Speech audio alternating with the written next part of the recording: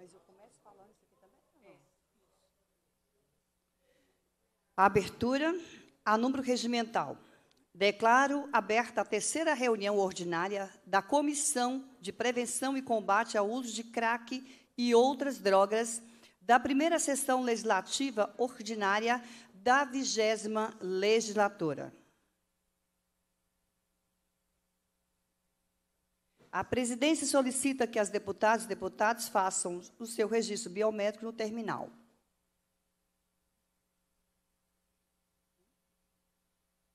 Nos termos do parágrafo 1 do artigo 132 do Regimento Interno, dispenso a leitura da ata da reunião anterior a considera, e considera aprovado e solicito a sua subscrição.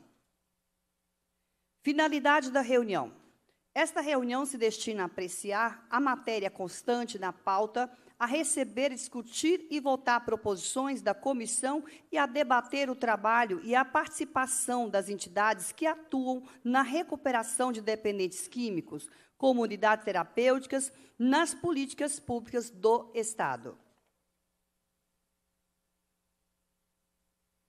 Passear a primeira fase da reunião que compreende nossa audiência pública. Convidados da reunião. A presidência agradece a presença das seguintes convidadas e convidados. Estão suspensos trabalhos. Gonçalves Leite, subsecretaria subsecretária de Políticas sobre Drogas de Secretaria de Estado de Justiça e Segurança Pública. Aloísio Andrade, presidente do Conselho Estadual Antidrogas de Minas Gerais, médico psiquiatra e homeopata. Rafael Moreno Rodrigues Silva Machado, do 13º Promotor de Justiça, Juízo de Tóxicos. Jânio Luiz de Miranda, presidente da Associação Abraço.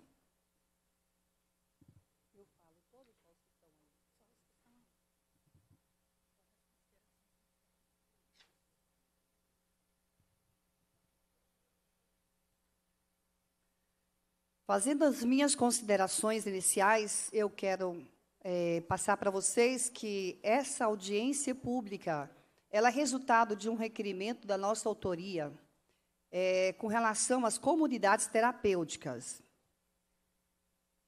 Excelentíssima Senhora Presidente da Comissão de Prevenção e Combate ao Uso de Crack e Outras Drogas, a deputada que subscreve requer a Vossa Excelência, nos termos regimentais, que seja realizada audiência pública para debater o trabalho, a participação das entidades que atuam na recuperação de dependentes químicos, comunidades terapêuticas nas políticas sobre políticas públicas do Estado. Então, devido a esse requerimento, hoje estamos iniciando, é, é, fazendo esta audiência pública, que para nós é de grande importância.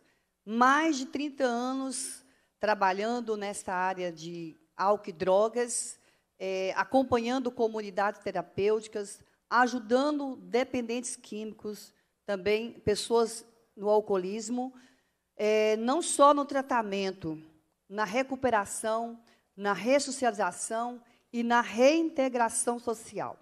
Então, vimos aqui essa grande importância dessa audiência pública, até porque o nosso gabinete tem recebido inúmeras demandas e pessoas de comunidade terapêutica pedindo para que nós viéssemos aqui hoje, estar trazendo, abordando assuntos de grande importância para essas comunidades, até para que elas permaneçam abertas, continuando o seu trabalho. A gente sabe que o trabalho das comunidades terapêuticas é um, um trabalho solitário, não é tão fácil. Aquele que conhece realmente a fundo o trabalho das comunidades sabe o quanto esses gestores sofrem para manter o trabalho. As dificuldades são grandes principalmente aqueles que não dependem do recurso público. E mesmo dependendo do recurso público, não é suficiente. Nós conhecemos de perto esse trabalho, conhecemos de perto o sofrimento dessas comunidades e sabemos o quanto essas comunidades são de grande importância para a recuperação das pessoas vítimas de álcool e drogas, não só para as pessoas, mas para os familiares. Só sabe dizer é, o sofrimento aquele que tem uma pessoa em casa. E hoje, você às vezes procura saber quais as pessoas que não têm um dependente dentro de casa. E a gente sabe que é, essas pessoas sofrem porque a partir do momento que elas fazem o uso das drogas, passa a ser um dependente. Então, é uma doença de fundo psiquiátrico, que exige um acompanhamento, exige um tratamento, exige um entendimento da causa. Não simplesmente colocar é, essas pessoas dentro de uma comunidade, dentro de uma clínica para tratar, mas elas precisam de um acompanhamento, de tratamento, não só lá dentro da casa, mas também saindo da casa, ao terminar o tratamento, elas precisam ser acompanhadas, precisam de uma pessoa que venha ajudá-las no processo de ressocialização, de reintegração social, é, familiar. Né? Então, isso para nós é de grande importância e, como eu falei para vocês, mais de 30 anos, 30 anos atuando ali no noroeste de Minas, nós temos inúmeras pessoas recuperadas inúmeras pessoas recuperadas, ressocializadas, reintegradas, pessoas que voltaram novamente a fazer, construir a sua própria história. Então, essas pessoas né, precisam da nossa ajuda e nós estamos aqui para dar esse apoio moral, ajudar através das políticas públicas que essas comunidades permaneçam abertas e que a gente venha aqui depender de todas as autoridades que estão aqui. Né, essa conversa que vai ser franca, para ver o que, que nós, enquanto parlamentar, podemos fazer, o que, que podemos ajudar para que melhore, para que eles continuem recebendo essa atenção do Estado. E, e o que, tem que ser feito para que essas comunidades venham a estar totalmente regulamentadas e não serem é, fechadas. Então, eu passo aqui agora a palavra. Senhor Aloísio Andrada, né, que é o presidente do Conselho Estadual Antidrogas de Minas Gerais. Ele é médico e psiquiatra e homeopata. Então, seja bem-vindo. Senhor tem a palavra. Nós vamos dar cinco minutinhos para cada pessoa que está aqui. Se precisar de mais tempo, a gente acrescenta. Seja bem-vindo e obrigada. Muito obrigado, deputada Marli Ribeiro. Cumprimentar os componentes da mesa, doutora Cláudia Leite, doutor Rafael Moreno e doutor Jânio Miranda.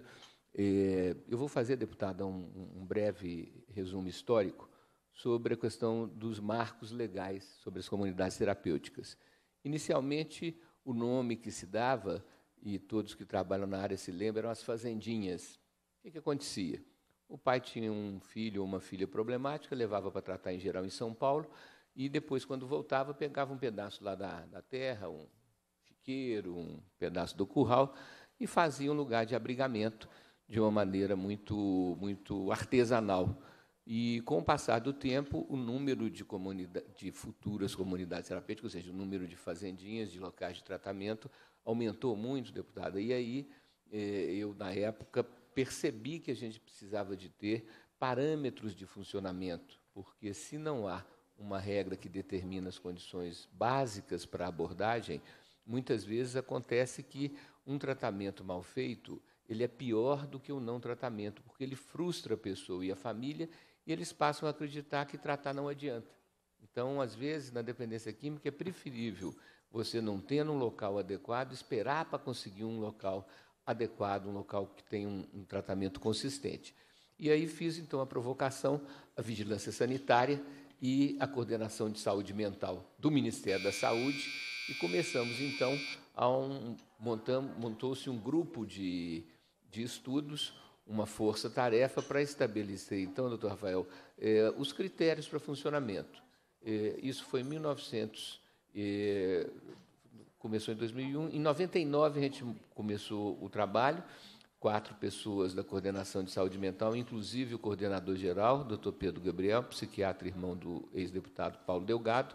Ele coordenou a saúde mental, deputada, durante 12 anos quatro anos no governo Fernando Henrique, quando Zé Serra era o ministro da Saúde, e depois nos oito anos que o Lula foi presidente nos dois mandatos. Então, ele realmente foi quem implantou esse sistema da RAPS, da Rede de Atenção Psicossocial, é, dos CAPs, CAPS-AD, E como ele fazia parte da luta antimanicomial, o grupo aqui de Minas que seguia um psiquiatra italiano, Basaglia, que esteve aqui três vezes, fala assim, grupo de Trento, que era a cidade na Itália onde Basaglia morava. Era então Foucault na França, Basaglia eh, na Itália e os ingleses da antipsiquiatria. Então, por isso que houve todo um processo de privilegiar o tratamento ambulatorial, com que eu concordo, mas não exclusivizar o tratamento ambulatorial, porque pessoas em crise, pessoas em surto, pessoas com risco de tirar a própria vida ou de matar terceiros, ela tem que estar protegida, tem que estar abrigada com respeito, com carinho, com tecnologia, mas em ambiente fechado, porque eles não podem circular, porque quem está com o estado de consciência alterado não faz o uso do livre-arbítrio de forma adequada, isso é óbvio. Quem não está com a consciência clara não tem como fazer escolhas, porque ele está confuso palavra da psiquiatria tem a palavra feia, chama obnubilado, consciência obnubilada. Está né? Tá assim, como diz, meio viajando. Né? E aí, então, o Pedro Gabriel eh, participou desse grupo, então ele deu as suas opiniões diferentes e a gente conseguiu eh, criar a RDC número 101, que eu recomendo a quem não conhece, ela não está em vigor, mas ela é uma grande referência, RDC 101, de maio de 2001, da Vigilância Sanitária da Anvisa. Tá? Então, resolução RDC, resolução de diretoria colegiada número 101. E aí estabelecemos os parâmetros, inclusive com a parte do texto que eu fiquei responsável, que eu fui o consultor técnico na época, foi sobre rotina terapêutica. E como deputada, nenhuma instituição recebia ajuda, nem municipal, nem estadual, nem eh, federal. O eh, que, que eu coloquei na rotina terapêutica?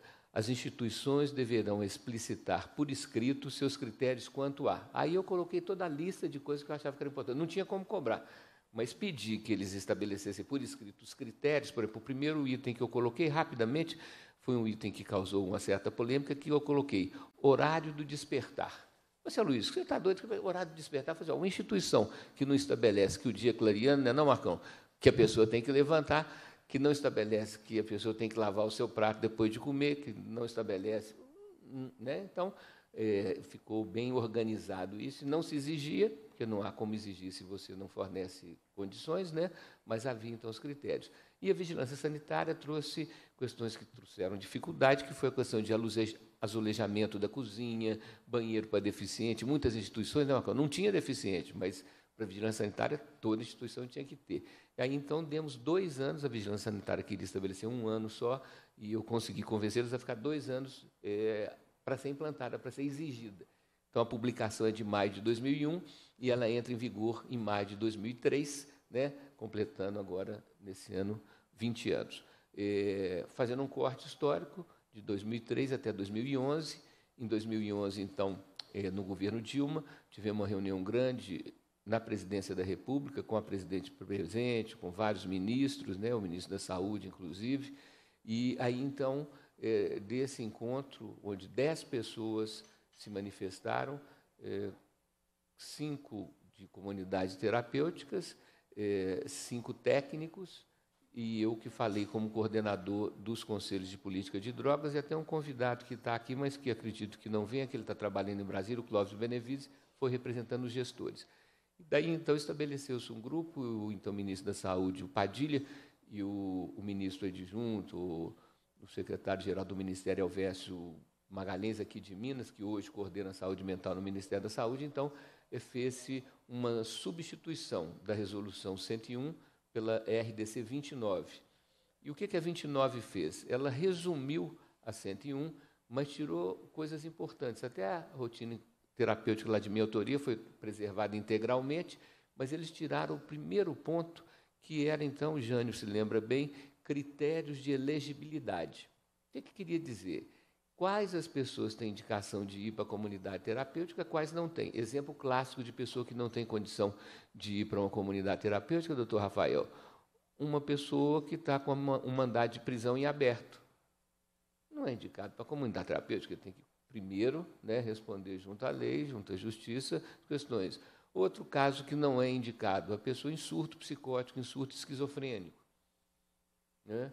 Outra situação, uma pessoa que não tenha uma capacidade mínima né, de consciência de aceitar o tratamento, já que a comunidade terapêutica tem como tripé básico internação voluntária, só vai quem quer. Quem quiser sair, não sai na hora, deputada, porque não é assim que o trem funciona. Então, a gente estabeleceu lá na 101 a chamada nota de 24 horas. Me desentendi, não estou gostando, quero ir embora. Então, ele assina essa nota e, ao longo dessas 24 horas, a comunidade terapêutica, a instituição, vai fazer o contato com a família, vai solicitar, então, que venham buscá-lo. Não pode soltar a pessoa na rua assim. Então, quer sair, sai, mas 24 horas para a família poder se organizar. Então, a, a 29 é a que está em vigor hoje, ela foi uma mutilação da 101, mas ela guardou pontos importantes da 101, e é um parâmetro, é a referência. Depois, em 2015, quatro anos depois, a SENAD, Secretaria Nacional de Política de Drogas do Ministério da Justiça, junto com o CONAD, Conselho Nacional de Política sobre Drogas, eh, montou um, um grupo, Força Tarefa novamente, composto por pessoas de comunidades terapêuticas, por pessoas da luta antimanicomial, e o, o colegiado do, do CONAD naquela época era muito amplo, hoje ele está modificado, mas tinham vários, o Conselho Federal de Psicologia, o Conselho Federal de Enfermagem, de Assistência Social, todos os segmentos. Durante um ano e meio, Rafael, 18 meses, tivemos reuniões quinzenais, semana sim, semana não, em Brasília, para estabelecer a que eu considero a resolução mais completa, mais detalhada e mais abrangente, que é a resolução número 01 de agosto de 2015, Senad barra Conad, Ministério da Justiça. Aí nós estabelecemos detalhes bem, mas bem detalhados mesmo, bem é, é, estudados, palavra por palavra, vírgula por vírgula, e ela então foi questionada pelo, pela Defensoria Pública, pelo Ministério Público Federal, foi suspensa por um período hoje, ela está em vigor completamente já é, sem é, possibilidade de judicialização. Então, essa resolução é, nós tivemos, por questões do Estatuto da Criança e do Adolescente, tivemos que deixar de fora os adolescentes, e abriu um gap, abriu um vazio, por, hoje é uma dificuldade, porque o Estatuto da Criança e do Adolescente parece que ele não amadurece. Ele tem mais de 20 anos e parece uma criança de três meses, porque a sensação que eu tenho é de que, pelo ECA, teve uma época, a doutora Cláudia, que até chamava de eco, né? Eco não era de ecológico, não, assim, eco era um trem assim, eco, né? Porque tratava ali como que se todo menor, que não é menor, deputado de 18 anos, a gente conta a idade de uma forma meio errada. Eu, por exemplo, completei 66 anos do dia 22 de fevereiro. Do dia 23 para cá, eu estou percorrendo meus 67. As mulheres detestam. Minha mulher, quando me vê falando assim, ela até ameaça me bater porque eu falo que a pessoa, a idade que ela completou já era, então ela está contando a nova. Né? Então, o Estatuto da Criança e do Adolescente considera que todo menor que não completou 18, e no dia que ele completa 18, ele acabou de 18, ele não é menor de 18, não, ele está nos 18 e no dia seguinte já é 19, né? Então, quando ele completa os 18. Então, o que acontece? São tratados como sendo crianças de 3, 4 meses de idade, incapazes para tudo só tem direito e não tem dever. Tanto é que imediatamente depois do, do ECA entrar em vigor, há vinte e tantos anos atrás, toda quadrilha, todo o crime organizado passou a ter o seu menor de plantão. Tinha um menor de plantão. Fui eu que matou, fui eu que estrupei, fui eu que. Né? Então, e a gente, então, sabendo que se colocasse adolescente na resolução 01 de 2015 ia, como diz Nadira, melar a resolução, a gente deixou fora. Né? É, fazendo um corte histórico para terminar, então, para vir para a atualidade, é, durante o governo Bolsonaro, a partir de 2000, início de 2019, é, foram extintos 70 conselhos, inclusive o CONAD, e na recriação do CONAD, ele, ao invés de ter 26 representantes, ele foi recriado com 10 representações, oito ministeriais, inclusive no Ministério eh, que a doutora Cláudia Leite trabalhava na Senapred, que foi, então, eh, um dos oito ministérios, um representante dos gestores, eh, que são as pessoas que coordenam no executivo a política e os investimentos na área da dependência química, quais sejam prevenção, tratamento, fiscalização, repressão e reinserção social, e um representante dos conselhos estaduais. E aí eu, estando com o secretário nacional Bediora, que era da equipe do Muro, tinha vindo do Paraná com ele, especialista em recuperação de ativos. essa questão dos leilões, essa questão dos bens de traficantes. Né? E eu falei, secretário Bediora, ah, o conselho ficou muito chapa oficial, muito chapa branca. Né? Quem sabe o senhor não pede para o colegiado de presidentes apresentar uma lista tríplice para o senhor, para não ser o senhor que vai escolher né, entre todos, uma lista tríplice, e assim foi feito. E eu acabei sendo o representante desse colegiado de presidentes do CONAD, pude acompanhar durante os quatro anos as reuniões, e a doutora Cláudia participou de algumas. Eh, as reuniões eram basicamente motivadas por notas técnicas elaboradas pelo doutor Quirino e doutora Cláudia da Senapred, e que iam para eh, serem eh, discutidas, legitimadas pelo CONAD. Mas como as pessoas que compunham o CONAD, né, fora do doutor Quirino e eu que eram da área, as outras pessoas não eram da área, o que, que acontecia? As reuniões, que antigamente duravam duas, três horas, às vezes dois dias, duravam 15 minutos. Né? As notas técnicas muito bem elaboradas, não tinha o que discutir, ninguém conseguia contrapor, e era composto o conselho basicamente por conselheiros que é uma classe de conselheiro que acrescenta pouco, né? É, porque são pessoas que entram muda e saem calada. Então, né, teve um, um, vácuo. Né? Agora, o CONAD, e aí eu termino meu raciocínio, o CONAD foi recriado, mas com uma representação muito ampla, uma representação é, muito pulverizada, tá certo, Rafael? Um negócio assim que fica imaginando. A primeira reunião, só teve uma, você veja bem, nós estamos no mês de novembro, foi para discutir o regimento interno, e não se chegou à conclusão, porque houve uma série de coisas, dez representações deputada da sociedade civil organizada, foram eleitas, eleitas por uma eleição feita pela Senat, pela Secretaria Nacional de Política de Drogas. Ah, das dez instituições eleitas, várias não têm CNPJ, não têm sede própria, não têm um responsável jurídico. As dez, né? um exemplo clássico foi é, eleita como com assento titular e suplente a Marcha pela Maconha. Isso é um movimento. Mas isso não é uma instituição. Então, para haver uma representação, você tem que ter isso configurado. Pode chamar de careta, pode chamar de, de excesso de formalidade, mas eu entendo que tem que ter algum responsável jurídico para responder pela instituição. Né? E está havendo um movimento muito grande de eh, conduzir o CONAD para ter uma, uma posição pró-liberação eh, da maconha de uma maneira a não ser discutida. Na minha opinião, da gente que acompanhou há 20 anos atrás o debate e depois o plebiscito ou consulta pública sobre o desarmamento, eu até, Rafael, fui pessimista no início. Falei assim, esse trem não vai dar certo. Não, o que é isso? Né? Quando eu fui vendo especialista pró, especialistas anti, né, subsidiando a população com conhecimento científico, né, embasado em opiniões que tinham uma razão de ser, que não era um achismo, eu penso, eu acho, na minha visão, na minha experiência, uma coisa mais. Houve a votação e o Estatuto de Desarmamento foi aprovado, como foi, e eu achei que aquilo ali foi. Então, para mim, inclusive, discutir isso com o presidente do Senado, doutor Rodrigo Pacheco, que foi colega meu no Conselho de Criminologia aqui em Minas. Eu fui conselheiro do Conselho de Criminologia durante 10 anos, o Rodrigo ficou cinco anos como conselheiro.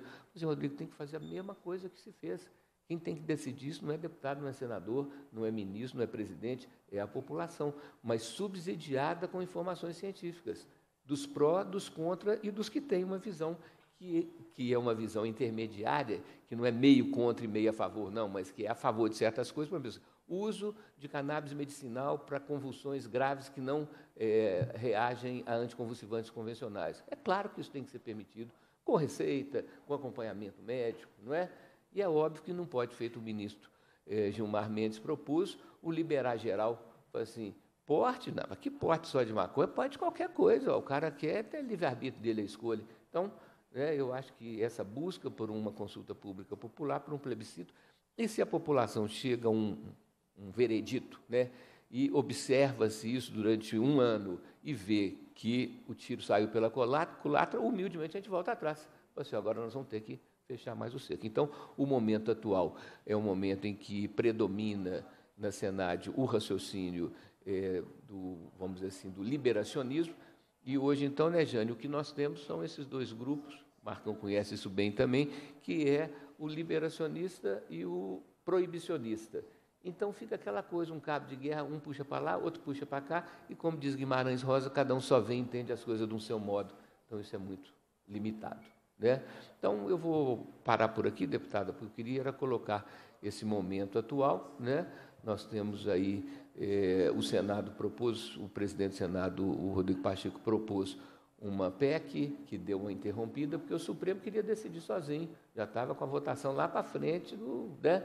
e é uma coisa, sendo que não tem ninguém no Supremo que seja especialista. E, por último, veja como é que as coisas são.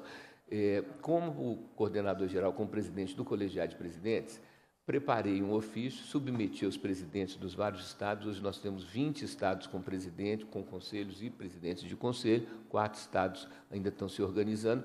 Preparei o texto, o ofício direitinho, com a, as notas técnicas, né, com os arrazoados, propondo essa questão que fosse, então, como no Estatuto de Desarmamento, estabelecido uma consulta pública popular subsidiada por campanha de televisão dos pró, dos contra e dos intermediários. Mandei o ofício para cada um dos dois ministros, para cada gabinete, mandei para o Supremo, para cada um dos dois ministros. Não recebi resposta. Em nome de um colegiado de presidentes, Rafael. Não, não era Luiz Andrade que estava ali palpitando, era um colegiado de presidentes, era um coletivo. Né? Aí fiquei, Cláudia, curioso, falei assim: ah, eu vou mandar um outro ofício perguntando se eles receberam porque nem o, o recebido continuei ignorado.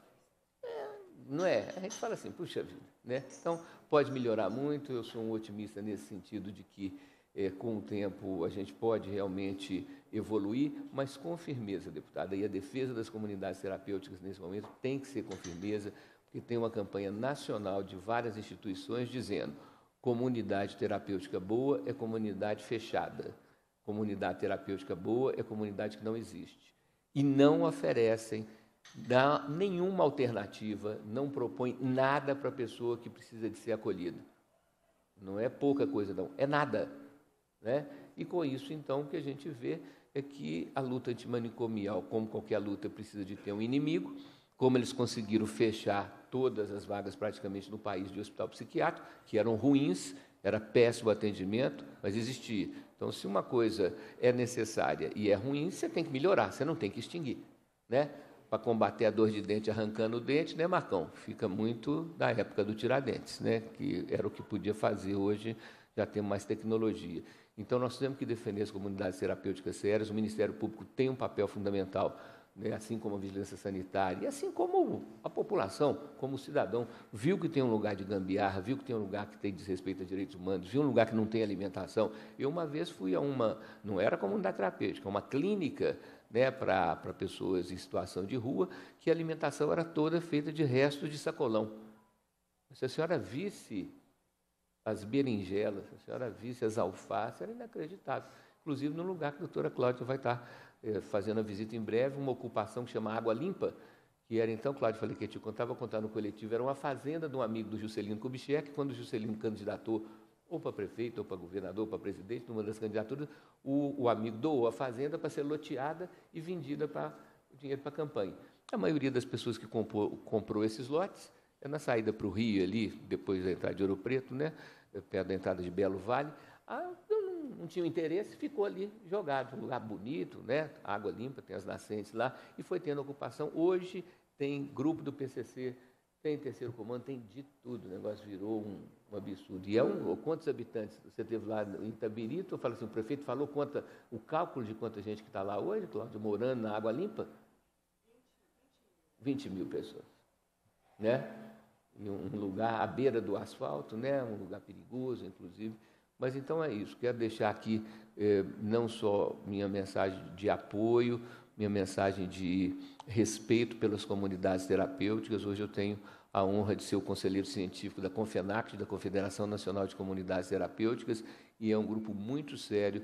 E Dr. Frederico Garcia, que está citado aqui, que é o coordenador da equipe da UFMG do Calix Cola, né? o Calix Cola que é a vacina que está sendo é, buscada contra a cocaína, e que doutor Frederico está coordenando a equipe da UFMG que está fazendo as avaliações de comunidades terapêuticas. Ele teve na reunião do conselho nosso, ele não é conselheiro, mas foi convidado, teve na reunião do conselho nosso no, no, no CONEAD e disse, falou em público, assim, eu estou surpreso porque a imensa maioria das 529 comunidades que nós fomos em loco, fizemos lá os questionários e as avaliações, a imensa maioria é de alta qualidade. E até brincou, tem umas lá em Santa Catarina, no Paraná, que me deu vontade até de fazer a desintoxicação de estresse lá. Então, boa qualidade. Então, vamos lá, né, deixar aqui meus agradecimentos e meus parabéns a todo mundo que está envolvido nessa busca de o que eu considero, deputada, a causa principal dos problemas de segurança pública, dos problemas de saúde mental e dos problemas de desagregação familiar. Então, se a gente for olhar assim, talvez seja problema de saúde pública e que envolve toda uma série de anexos mais importante atualmente. Muito obrigado.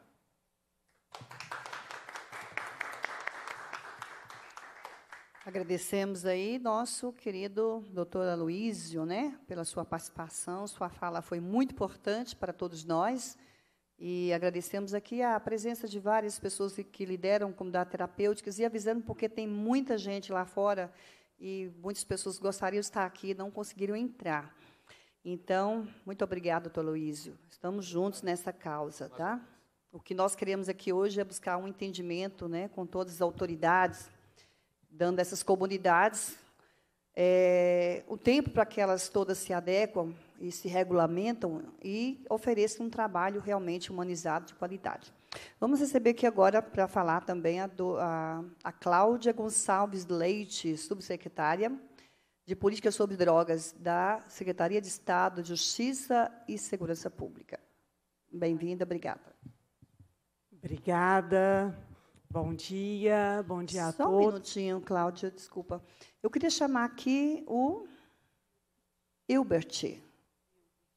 Hilbert Rodrigo, Rodrigo Perdigão, para compor aqui a mesa, secretário da Federação das Comunidades Terapêuticas de Minas Gerais, FTMG.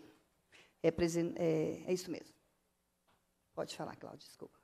Bom dia, bom dia a todos. Quero cumprimentar a deputada Marli Ribeiro, parabenizá-la pela essa importante iniciativa. Cumprimento a doutora Luísa Andrade, presidente do Conselho Estadual de Políticas sobre Drogas, que realiza um trabalho importante no Conselho.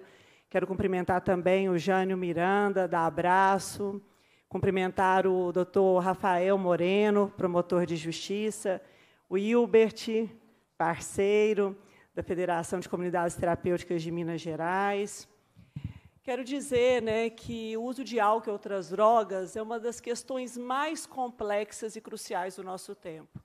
É um problema de saúde pública, muitas vezes tratado de forma equivocada como um problema moral, que precisa ser exaustivamente discutido, como a gente está fazendo aqui hoje, para ser melhor compreendido e deixar de ter esse peso estigmatizante sobre as pessoas que possuem dependência química. Enquanto se fala muito sobre os aspectos legais dessa questão, pouco se fala sobre os impactos das drogas na justiça, na segurança, na saúde, na educação, em diversos problemas sociais e nos altos índices de mortalidade. O Relatório Mundial sobre Drogas, de 2019, do Escritório das Nações Unidas de Drogas e Crimes, aponta que 36,3 milhões de pessoas em todo o mundo sofrem transtornos decorrentes do uso de substâncias psicoativas. E de oito, apenas uma recebe tratamento. E as comunidades terapêuticas é uma das principais respostas a essa realidade. E o governo de Minas vem trabalhando para mudar essa realidade. Vou falar rapidinho, vou apresentar para vocês as ações que o governo de Minas vem atuando, também em parceria com as comunidades terapêuticas, para que a gente possa, de forma efetiva, fortalecer a política sobre drogas. Pode passar, por favor. Minas Gerais, ele é pioneiro na política sobre drogas. Em 2005, foi instituída a Rede Complementar de Suporte Social na Atenção ao Dependente Químico. O que é essa rede? É a parceria do Estado com as organizações da sociedade civil. Nessa época, já havia parceria entre as comunidades terapêuticas e o governo de Minas e também as entidades que atuam na prevenção e na recuperação de pessoas com problemas decorrentes do uso e abuso de substâncias psicoativas. Em 2006, foi instituída a Política Estadual sobre Drogas. A Política Estadual sobre Drogas ela é dividida em vários eixos. prevenção ao uso de álcool e outras drogas, cuidado e reinserção social, pesquisa, formação e repressão. Temos também o sistema estadual de drogas. Esse sistema ele abrange todas as, todos os órgãos que faz parte da política. Como, como, já foi dito aqui, a política é intersetorial. Ela não tem como funcionar sozinha. Ela precisa da educação, da saúde, da assistência social, da justiça, da segurança pública, do esporte. E temos também a Câmara Integrada de Álcool e Outras Drogas. Pode passar, por favor. Essa Câmara é, ela é composta por representantes dos estados. Ela se reúne de três em três meses para que a gente possa é, conversar e atuar na política sobre drogas.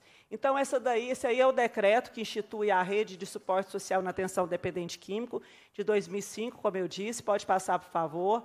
Aí nós temos aí o decreto que institui a política estadual sobre drogas, pode passar. Aí embaixo tem o sistema estadual de políticas sobre drogas. E aí, para a operacionalização, a Câmara Integrada de Políticas sobre Drogas. Pode passar, por favor.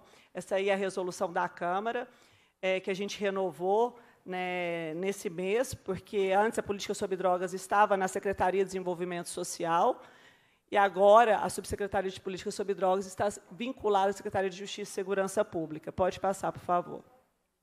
Então, hoje, né, como eu disse, a política sobre drogas está vinculada à Secretaria de Estado de Justiça e Segurança Pública e atua em duas frentes: a redução da oferta de drogas, que é a repressão ao tráfico, ao crime organizado, e a redução da demanda por drogas, que é a prevenção, o cuidado, o tratamento, a reinserção social, com foco na geração de emprego e renda a pesquisa e a formação. Pode passar.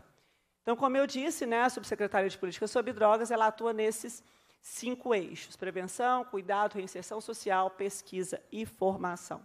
Pode passar. Então, hoje, né, a subsecretaria está vinculada à SEJUS, Secretaria de Justiça e Segurança Pública, com o CONEAD, né, a doutora Luísio estava aqui presente.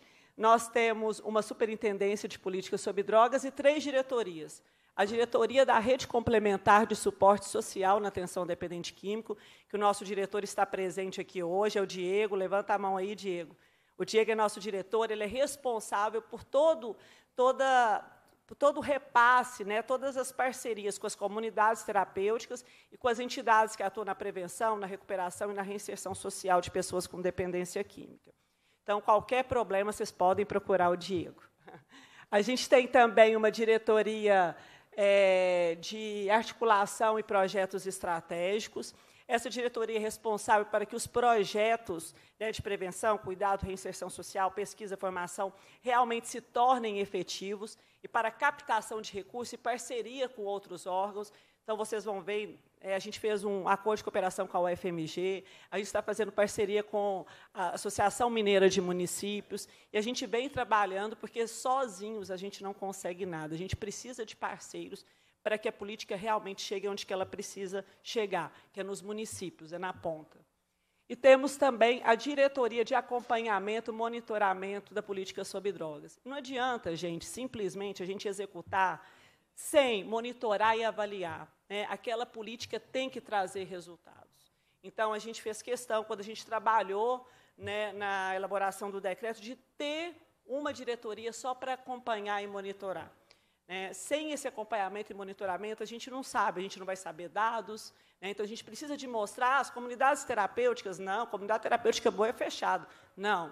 Tem dados que comprovam que o trabalho realizado pelas comunidades terapêuticas são efetivos.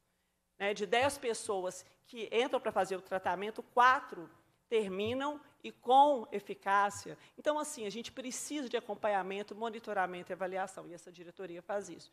A gente também tem assessoria de gestão de ativos, né, dos bens apreendidos e decorrência do tráfico.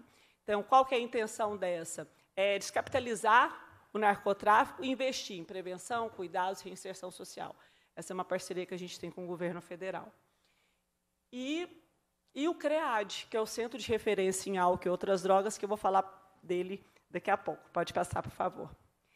E na rede de suporte social na atenção dependente químico, a gente tem parceria com as comunidades terapêuticas e com as entidades que atuam na prevenção e na reinserção social. Pode passar. E aí, é importante a gente entender o que é comunidade terapêutica. Né? Eu sei que todo mundo aqui sabe, mas a gente tem que deixar bem claro que as comunidades terapêuticas são instituições sem fins lucrativos que prestam serviços de acolhimento, acolhimento residencial de caráter transitório. A pessoa não pode ficar na comunidade terapêutica quanto tempo ela quiser. Primeiro, ela precisa querer estar numa comunidade terapêutica e ela pode ficar até 12 meses. Né? Então, ela não pode é, passar desse prazo na comunidade terapêutica. E outra coisa, a comunidade terapêutica não realiza internação. A comunidade terapêutica realiza acolhimento. A internação voluntária, involuntária e compulsória são realizados em equipamentos de saúde, hospitais, clínicas, não em comunidades terapêuticas. Então, quem fala que a comunidade terapêutica faz internação, fala de forma equivocada. A comunidade terapêutica realiza acolhimento de pessoas com transtornos decorrentes do uso e abuso de substâncias psicoativas de forma voluntária né, e transitória. Pode passar, por favor. E como já dito aqui pro, pelo doutor Aloísio, as comunidades terapêuticas são regulamentadas por um robusto arcabouço normativo. Né, porque tem pessoas que criticam, mas eles as pessoas têm que entender um pouco o que são as comunidades terapêuticas. Né, as comunidades terapêuticas hoje, elas estão na lei de drogas, que é a lei 11343, que foi alterada pela lei 13840, né? Essa lei ela tem uma seção específica das comunidades terapêuticas, a seção 6, que regulamenta. E lá é bem claro falando que a comunidade terapêutica não realiza internação. Né? Então, essa lei, a lei de drogas, cita as comunidades terapêuticas. As pessoas precisam saber disso. Hoje nós temos também a RDC 29, que a doutora Luiz falou, que fala todos os requisitos de vigilância sanitária que a comunidade terapêutica tem, tem que ter.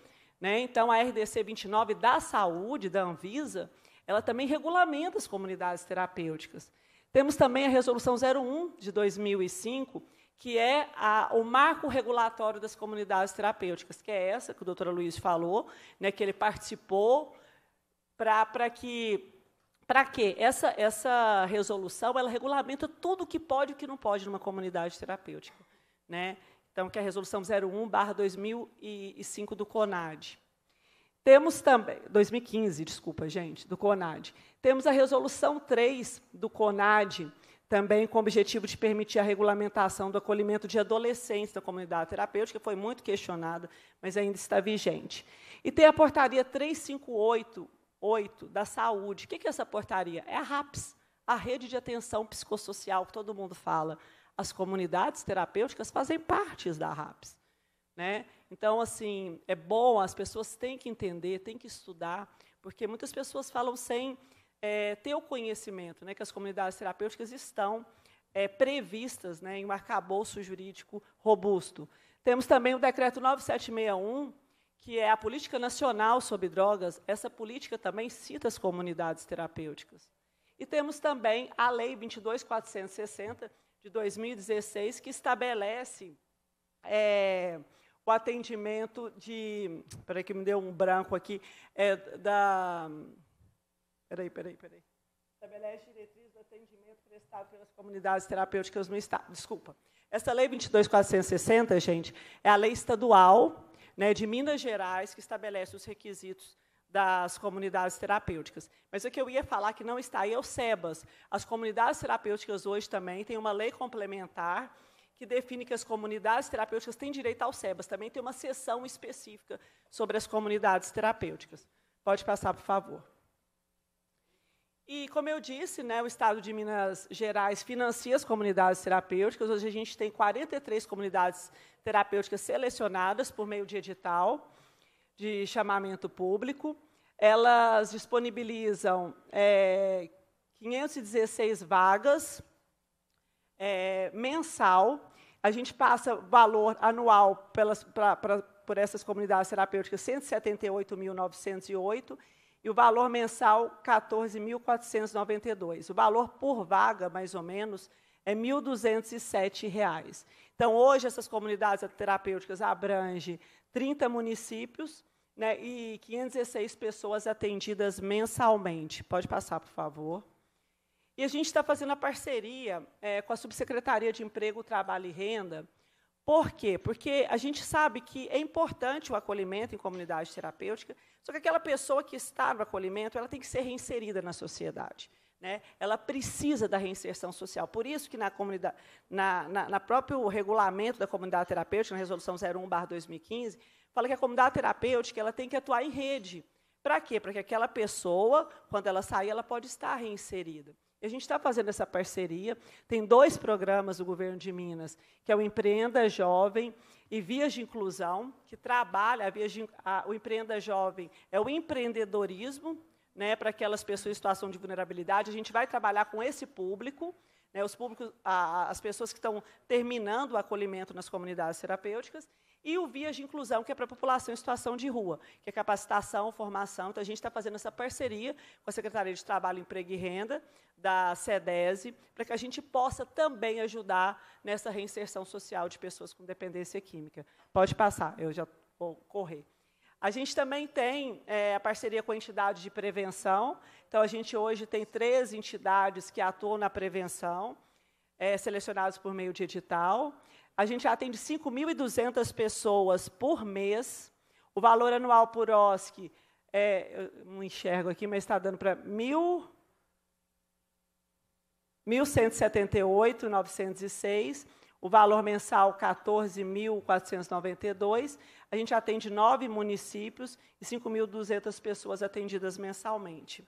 É, lembrando, gente, é um número ainda muito pequeno, tá? mas a gente está trabalhando para que a gente possa ampliar tanto as entidades, tanto as comunidades terapêuticas, como as entidades que atuam na prevenção. Pode passar, por favor.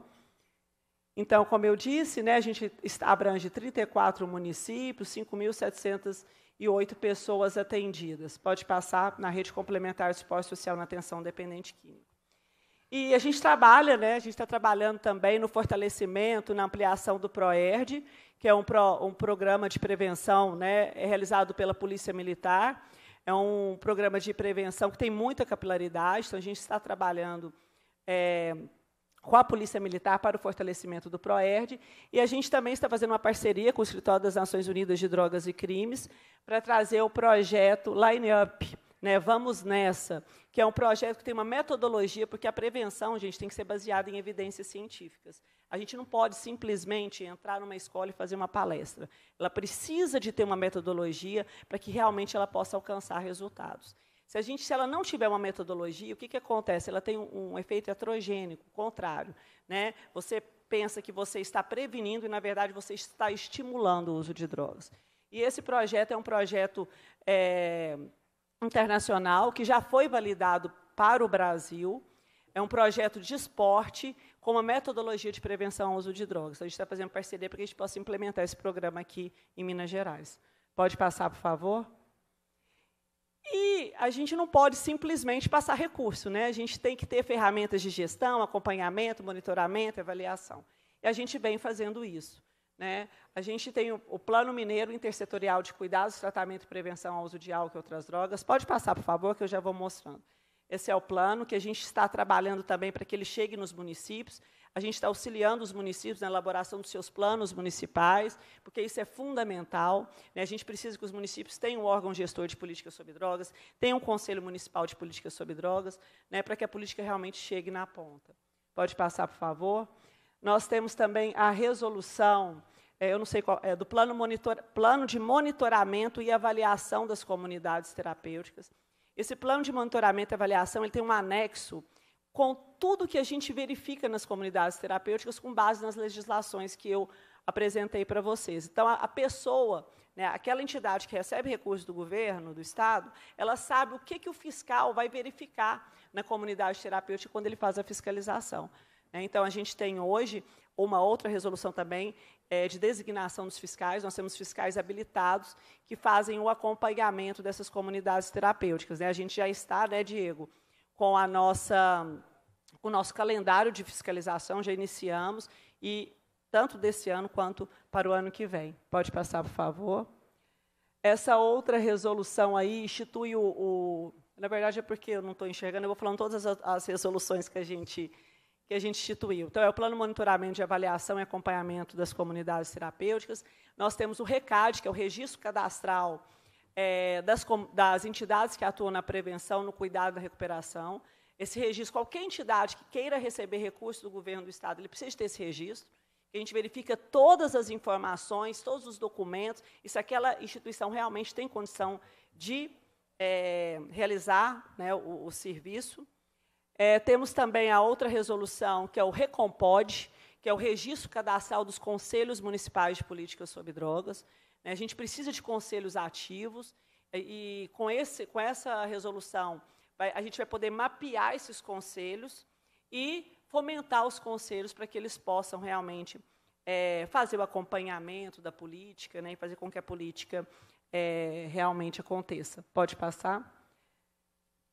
É, temos é, Recompode, RECAD, o plano de monitoramento e fiscalização das comunidades terapêuticas. Pode passar. Esse é o Recompode, né, que a gente instituiu agora. Isso tudo que, a gente, que eu estou falando, a gente fez esse ano. Pode passar. E eu tenho um carinho muito especial para falar sobre essa parceria. O CREAD é o Centro de Referência em Álcool e Outras Drogas. Ele funcionava no centro da cidade e, com a pandemia, ele foi fechado. Né? E agora, é, a gente chegando na Secretaria de Justiça e Segurança Pública, é, a gente está fazendo uma parceria, pode passar, por favor, com a UFMG, Universidade Federal de Minas Gerais. Então, foi publicado ah, o, termo de, o termo de cooperação técnica número 30. Para quê? Pra, para que o CREAD funcione dentro do campo saúde da UFMG. Né? Então, isso para nós é um, é um grande avanço. Como eu disse, a política sobre drogas ela tem que estar junto com a academia, ela tem que ser baseada em evidências científicas. E a gente acredita que essa parceria, governo de Minas e UFMG, e é com o grupo que está com a vacina Caliscoca, né, que é o doutor Frederico Garcia, é, o grupo Naves, né, que até ganhou o prêmio aí Euro. Então, a gente está fazendo essa parceria para que a gente possa né, atuar é, junto com a academia, né, com políticas efetivas e baseadas em evidências científicas. Pode passar. Então, o que é o CREAD? Ei, deputado, tudo bem? Então, o que é o CREAD? O CREAD atua na pesquisa. Sem pesquisa, a gente não tem dados para fazer política pública. Formação, precisamos capacitar os municípios, as entidades, os gestores. Né? A gente está fazendo uma a, a formação dos gestores dos gestores das políticas de saúde, educação, assistência social, segurança pública, para quê? Para que eles possam saber a abordagem né, do público, das políticas. É, a informação científica, como eu disse, né, a política tem que ser baseada em informação científica, mobilização técnico-social, conferências, eventos, né, é, assessoramento técnico, como eu disse, assessoramento técnico aos municípios, às instituições, atendimento ao público, o CREAD, como eu falei, vai, vai atender o público lá no campo saúde da UFMG, tanto atendimento telefônico como atendimento presencial. O telefônico a gente ainda faz, mas o presencial começa a partir é, de novembro. Nós vamos fazer a inauguração do CREAD, acreditamos que o governador estará presente. E aí, deputadas, né, vocês serão convidadas, né, vai ser uma honra recebê-las na inauguração do CREAD. E reuniões de grupo de mútua ajuda, também vai funcionar lá na UFMG. Né? É, a gente acha muito importante né, é, cooperação com alcoólicos anônimos, narcóticos anônimos, Cruz Azul do Brasil, Grupo Esperança Viva. Né, tem vários grupos que realizam trabalhos e eles vão fazer conosco lá no, no Campo Saúde da UFMG. Já estou terminando, eu vou passar rapidinho. Pode passar? Pode. Então, como eu disse, a pesquisa, né, a gente precisa do intercâmbio técnico com universidades para que a política pública seja baseada em evidência científica e traga resultados. Nós temos formação, precisamos capacitar todos os gestores, né, como eu disse, municipais, né, os gestores estaduais, é, o, as, as, comunidades terapêuticas, as entidades que atuam, né, o, terceiro setor. Então, a gente está pensando nisso, está previsto para o ano que vem é, mais de, de, quatro capacitações. A gente vai fazer também um, um curso é, de pós-graduação em dependência química. Vamos fazer pesquisa no sistema prisional, vamos fazer é, é, um, pro, um, projeto, é, o sistema prisional livre de tabaco. A gente tem com vários projetos aí em andamento, pode passar. É, informação científica, como eu disse, mobilização técnico-social. Pode passar. Assessoramento técnico, como eu disse, o assessoramento técnico é, é todos os atores da política sobre drogas. Né? Então, a nossa intenção é que a gente esteja junto né, com os atores que fazem as políticas, para que a gente possa estar falando a mesma língua, isso é muito importante. Pode passar, por favor. E o atendimento ao público. Como eu disse, o CREAD vai estar ali na UFMG, e quando a gente fala da rede de atenção psicossocial, a gente fala de uma rede ampla, né, com vários equipamentos, sendo que a comunidade terapêutica é mais um equipamento que tem um, um serviço maravilhoso, mas a gente tem vários outros equipamentos e cada pessoa tem a sua individualidade. Eu posso precisar de uma comunidade terapêutica, né? É, outra pessoa, um hospital, um CAPS, um CAPS AD. Então a gente tem que entender que quanto maior o número de equipamentos, maior disponibilidade a gente dará para aquela pessoa que precisa. E é assim que a gente trabalha. Né? Então, a gente, a gente agora está fazendo uma parceria também com a Secretaria de Desenvolvimento Econômico. Nós fomos selecionados, nós não, né? na verdade, um aplicativo, uma startup, é, que chama Laila Health. Ela foi selecionada, está trabalhando com a gente, para que a gente possa, por meio desse aplicativo, colocar todos os equipamentos. Né? Então, a gente está fazendo essa parceria. Por quê? Porque a rede de atenção psicossocial ela é ampla.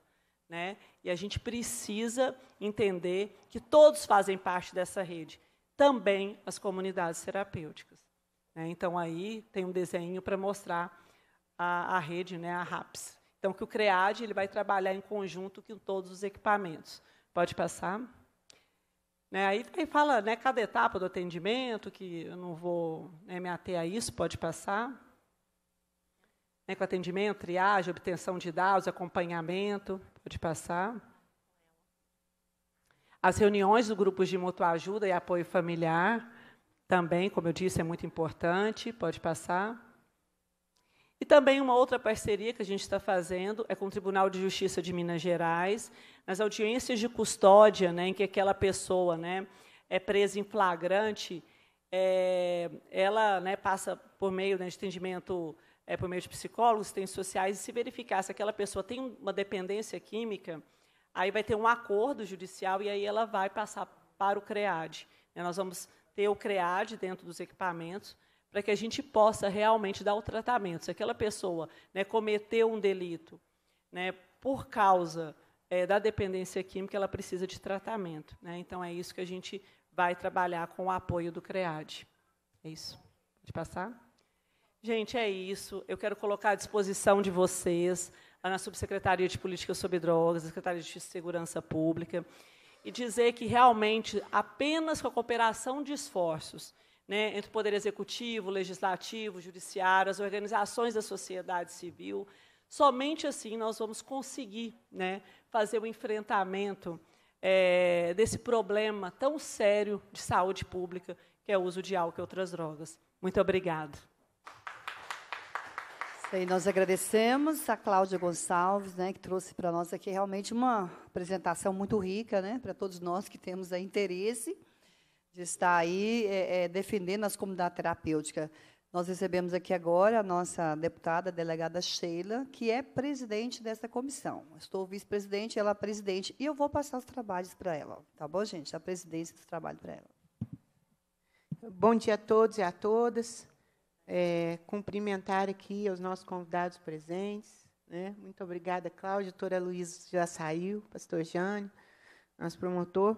É, agradecer né, a, a deputada Marli Ribeiro, que essa mulher atuante nessa causa, vive né, a, o, trabalho da recuperação do dependente químico na, na, no dia a dia, na vida dela. E é a propositora né, dessa audiência pública. Ela passou os trabalhos para mim, mas eu gostaria que ela continuasse a presidir a audiência pública e estarei aqui presente, né, para ouvir aí as explanações. Parabéns, viu, Cláudio? É, a gente gostaria, inclusive, de ter acesso a, a, esses slides, a esse material, né, disponibilizado, porque é um material que enriquece muito. E vamos dar continuidade. Pode dar continuidade às falas, Marli? Obrigada, aí, deputada, seja bem-vinda. Obrigada por estar com a gente aqui hoje, né? Então, é, eu agradeço aí a apresentação aí da Cláudia. Realmente, eu ia pedir para ela para deixar esse material para nós aqui, porque nós precisamos estar ajudando essas comunidades, acompanhando, né, levando informação, aquilo que realmente é necessário para que elas venham ser estarem regulamentadas. Então, eu convido agora para falar também é, Hilbert Rodrigues Perdigão, secretário da Federação das Comunidades Terapêuticas de Minas Gerais, FCTMG. Bom dia a todos. Eu quero primeiro agradecer né, a oportunidade da gente estar aqui representando a FCTMG, que, na verdade, é de conhecimento de vários aqui presentes, né, pela parceria que nós temos com a doutora, né, com a delegada Sheila, já há algum tempo, agora com a deputada Marli, também com a Cláudia, também com Jânio Miranda, né, e prazer conhecer o Rafael. É, a gente tem vindo já há algum tempo lutando em capacitação para as comunidades terapêuticas. Não simplesmente a gente fazer um agrupamento delas, mas capacitar cada um né, daqueles que são pertencentes a ela, trazendo a elas também um entendimento das resoluções para que haja uma aplicabilidade melhor do serviço e uma qualidade na sua atuação. Então a gente luta aí para que isso aconteça diariamente e contamos sempre com a parceria do poder público, né, com o Estado e a gente também com essa parceria aqui estabelecida nessa casa. A gente não pode deixar de salientar que várias vezes nós emplacamos aqui algumas, alguns pleitos, né, algumas intervenções para a manutenção da subpod e outras, e a gente veio conseguindo fazer isso com essa interlocução com os deputados dessa casa e com as parcerias também estabelecidas. Hoje eu estou aqui representando o nosso presidente Diego, que teve que se ausentar, mas a gente não pode deixar de, de fazer uma comentação aqui, que a gente tem tido algumas dificuldades né, é, com o nosso Conselho Estadual, nas demoras de alguns pedidos que a gente tem feito.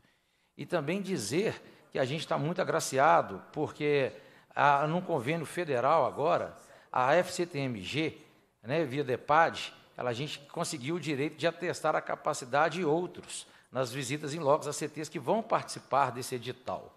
Isso mostra assim a importância do nosso trabalho colegiado, né, para que a gente conseguisse chegar nisso.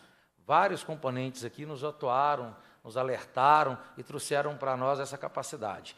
Então eu queria agradecer mesmo a colocação das deputadas que estão à frente aí sempre lutando para nós. Falta aqui realmente alguns componentes, alguns deputados que não puderam estar, que fazem parte também dessa comissão, mas a dizer que nós, como FCTMG, estamos à disposição das instituições e também dos deputados aqui, né, e dos parceiros representados aqui pelo Jânio e pela Cláudia.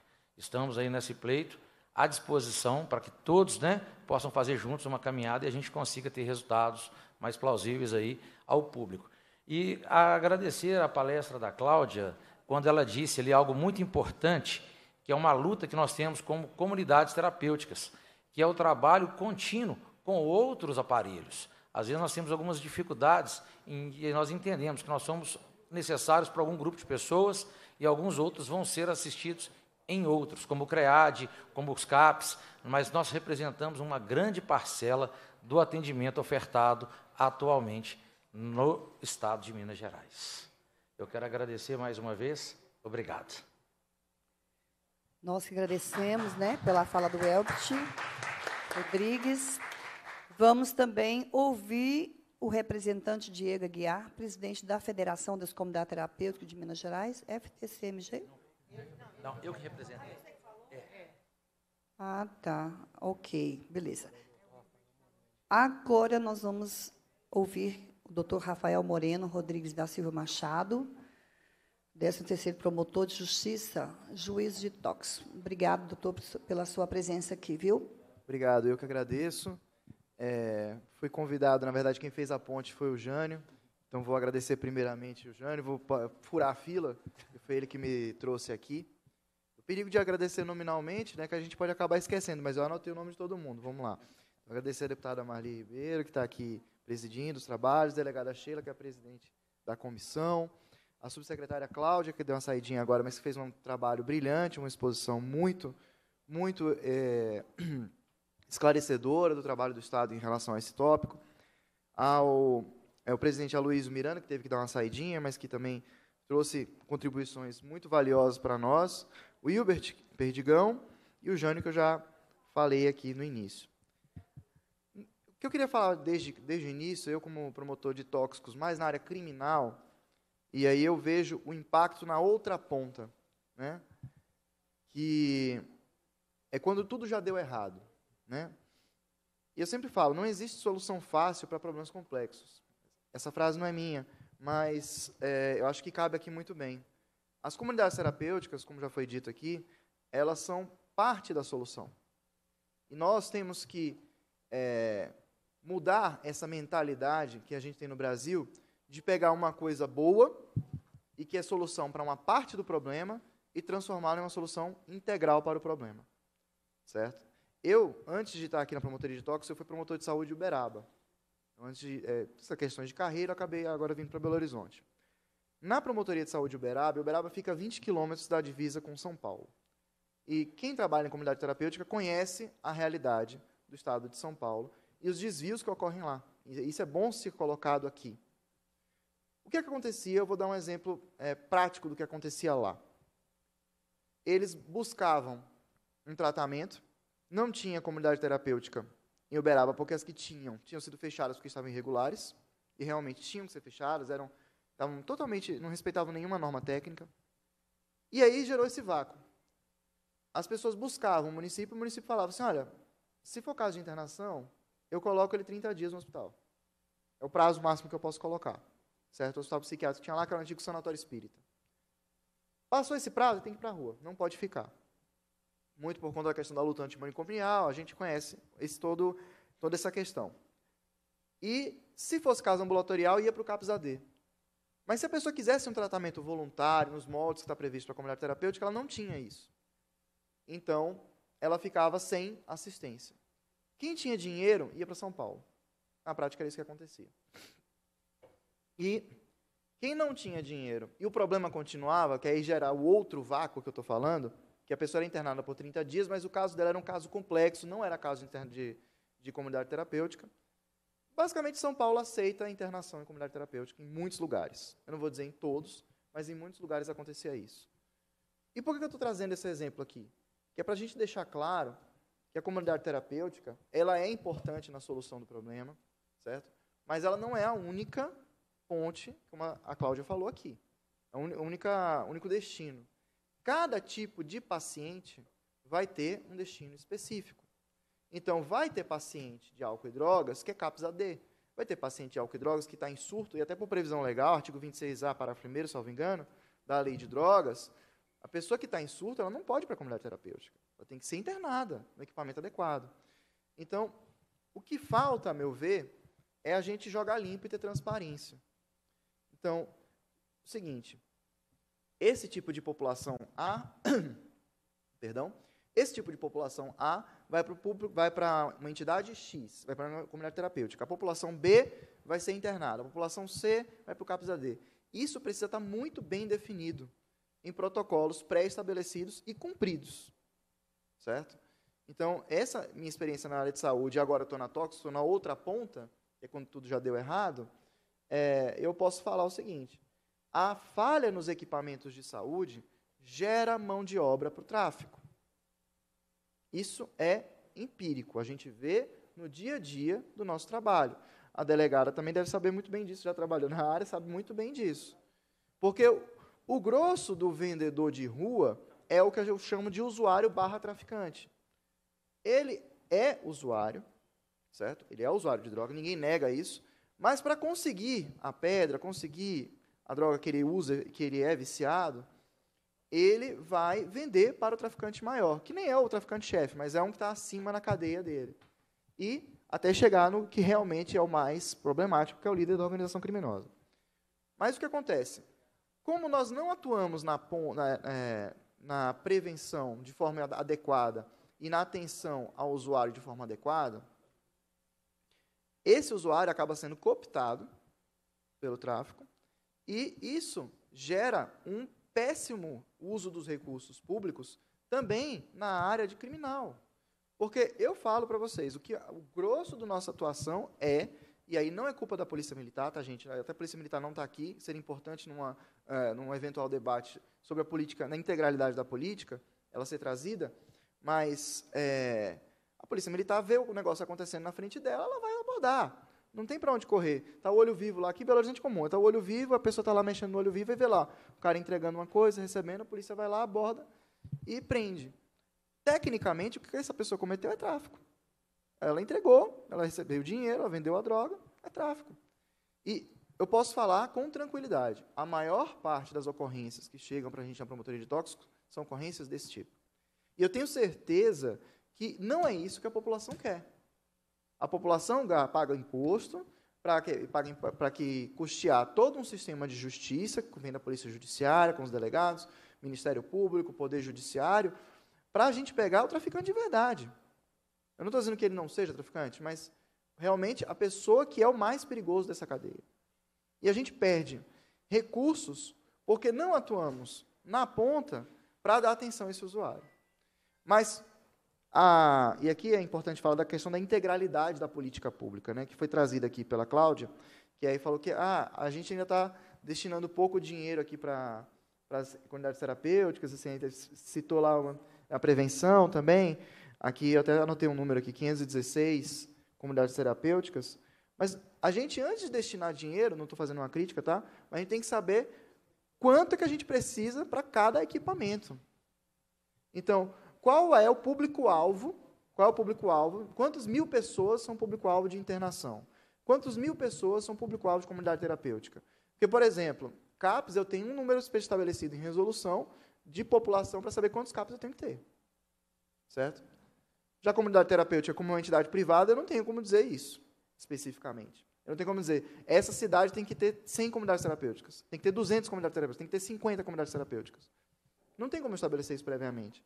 Então, é, a gente precisa ter, e aí eu bato aqui nessa questão da integralidade da política pública, trazer a comunidade terapêutica para a, a política de prevenção e combate ao uso de drogas é essencial.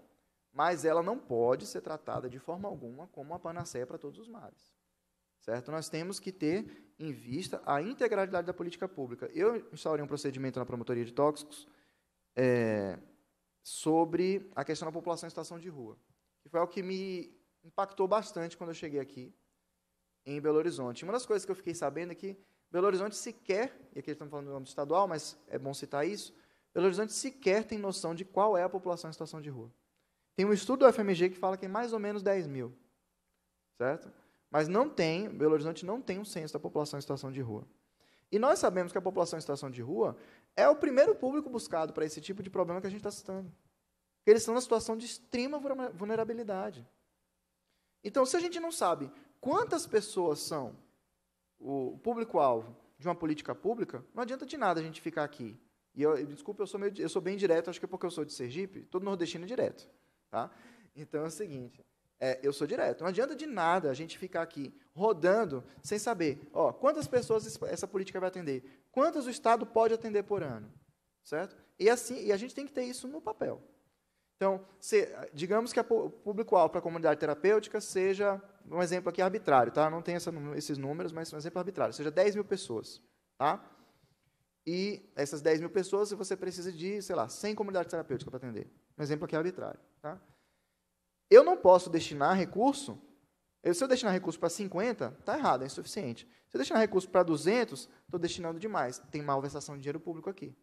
Então não adianta, é isso que eu estou falando. Então, antes de a gente partir para um, um, ataque maior ao problema, a gente precisa ter um diagnóstico completo do problema. Certo? Então, é, era basicamente isso que eu queria trazer aqui hoje e dizer o seguinte, que eu preciso da ajuda de vocês, e aí eu, aí eu falo, eu, eu falo todo o sistema de justiça. Tá? Não sou porta-voz porta de todo o sistema de justiça, mas falo com, com, com uma pessoa que trabalha dia a dia com isso. Para a gente ter recurso suficiente para buscar quem que a gente tem que buscar. E não ficar é, dando uma resposta estatal aqui para é, uma resposta prisional, muitas vezes, para uma pessoa que precisava de um auxílio. Certo? E uma vez que chegou o inquérito para mim lá dizendo que a pessoa é usuária de droga, mas ela entregou cinco pedras para um fulano de tal, a lei me impõe que eu processe essa pessoa, e a lei impõe que o juiz condene. E se ele for reincidente, a lei impõe que ele vá para regime semiaberto. Pelo menos. senão fechado. Então, é, a gente não quer isso. Na prática, a gente não quer. A gente quer que, antes que essa pessoa faça isso, que ela seja tratada. Certo?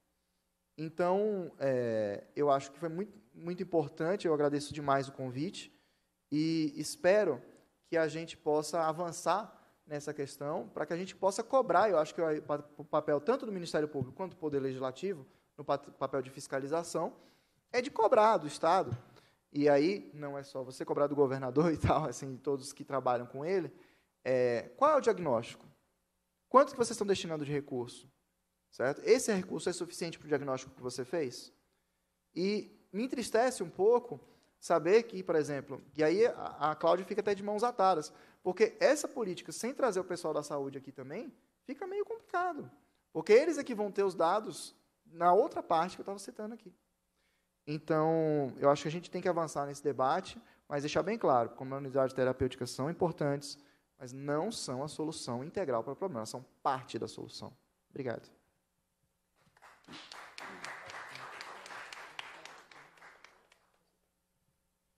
Agradeço aí a fala do nosso promotor, terceiro promotor de justiça, juiz de toque, doutor Rafael Moreno Rodrigues. Muito obrigada aí pela fala.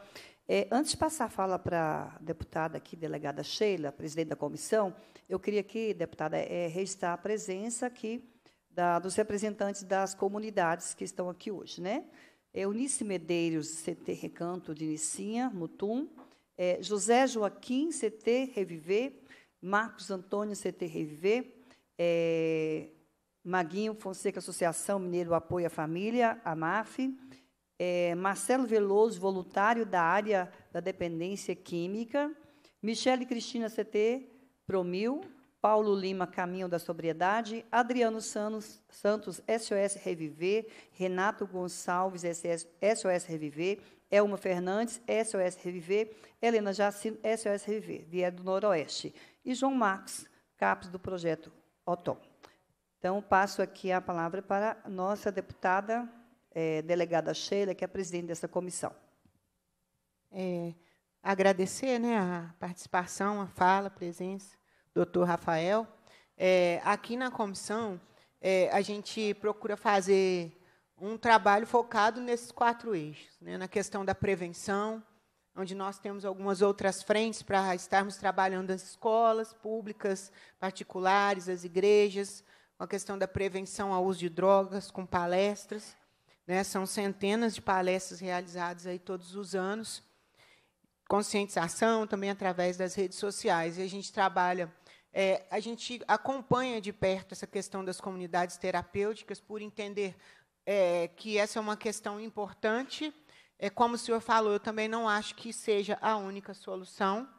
É, a gente não tem como dizer qual é a solução mais adequada, né, porque existem outras formas de tratamento também. Tem gente que não se adapta nas comunidades terapêuticas, né, com a questão da abstinência, e nem por isso ela precisa ficar sem tratamento nenhum.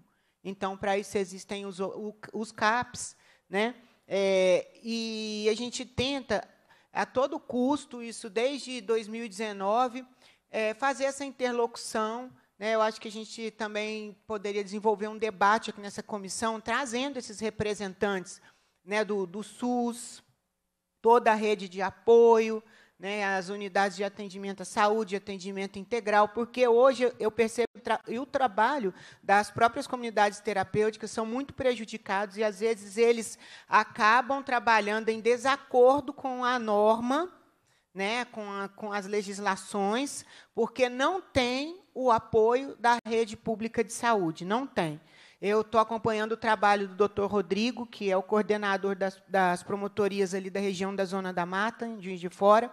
Tivemos uma audiência pública deslocada daqui para lá. A doutora Cláudia esteve conosco né, falando justamente sobre isso, os, os, coordenadores das comunidades terapêuticas muito revoltados com, os, com, o trabalho de fiscalização do Ministério Público, e o doutor Rodrigo, com, muita, é, com muito respeito, né, como lhe é peculiar, um excelente profissional, esteve na audiência pública, levou também o doutor Tobias, que já esteve à frente dessa pasta por bastante tempo, e ele explicou aqui que essa fiscalização é necessária né, para algumas adequações. Tinham realmente lá, foram encontradas em algumas comunidades muitas irregularidades. Vou citar para vocês como exemplo. É, pessoas que entram para a comunidade terapêutica sem um laudo psiquiátrico, psicológico, sem um acompanhamento psicológico de rotina, é, acontecendo fatos como a pessoa que já está tomando ali um medicamento psiquiátrico contínuo, ele precisa de, de, de, passar novamente pelas consultas de tempo em tempo. Só que ali a gente estava vendo pessoas a longo prazo, sem retornar para consultas. E, e olha só, gente, é, o coordenador da comunidade terapêutica, meu ver, não tem culpa disso também, né, sozinho vai deixar a pessoa sem, sem o medicamento, leva lá todo aquele bolinho de documento de identidade, o médico faz todas as receitas, pega no postinho e leva para lá, sem nem olhar na cara, né? nem no aspecto, nem na situação fática. Então, são problemas seríssimos, é, vários medicamentos, inclusive, sem o receituário correspondente. Então, essas coisas, de fato, o Ministério Público não pode fechar os olhos para isso. Mas por que, que isso acontece? Porque o poder público também não estende as mãos. Né? Fica aquela rivalidade, aquela guerrinha, e isso acaba prejudicando quem? As pessoas que precisam. Né? O usuário, aquelas pessoas que mais precisam. E esse trabalho tem, está sendo feito ali na região. É, o doutor Rodrigo vai dar continuidade. Ele se comprometeu a chamar é, os coordenadores das comunidades daquela região para uma reunião junto com o, o, o, munic os municípios, os representantes da saúde dos municípios, para chamá-los na responsabilidade também. Né? Porque se tinha irregularidade por parte das comunidades, se tem, tem também por parte do poder público.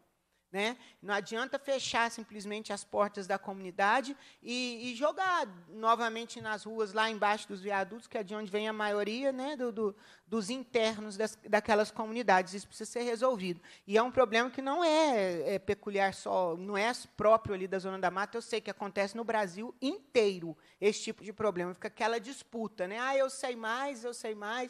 Não é assim que, que trata, não é assado e tal. E a outra parte também que a gente trabalha muito muito a questão da reinserção social desses dependentes químicos, ela fica muito prejudicada também por falta de apoio do poder público.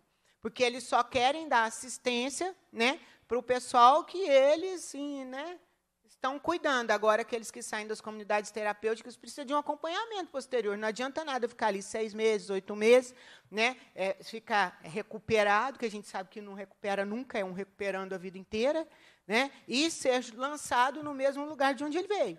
Então, o Estado, o poder público, precisa também estender as mãos. E a gente não pode deixar de cobrar isso.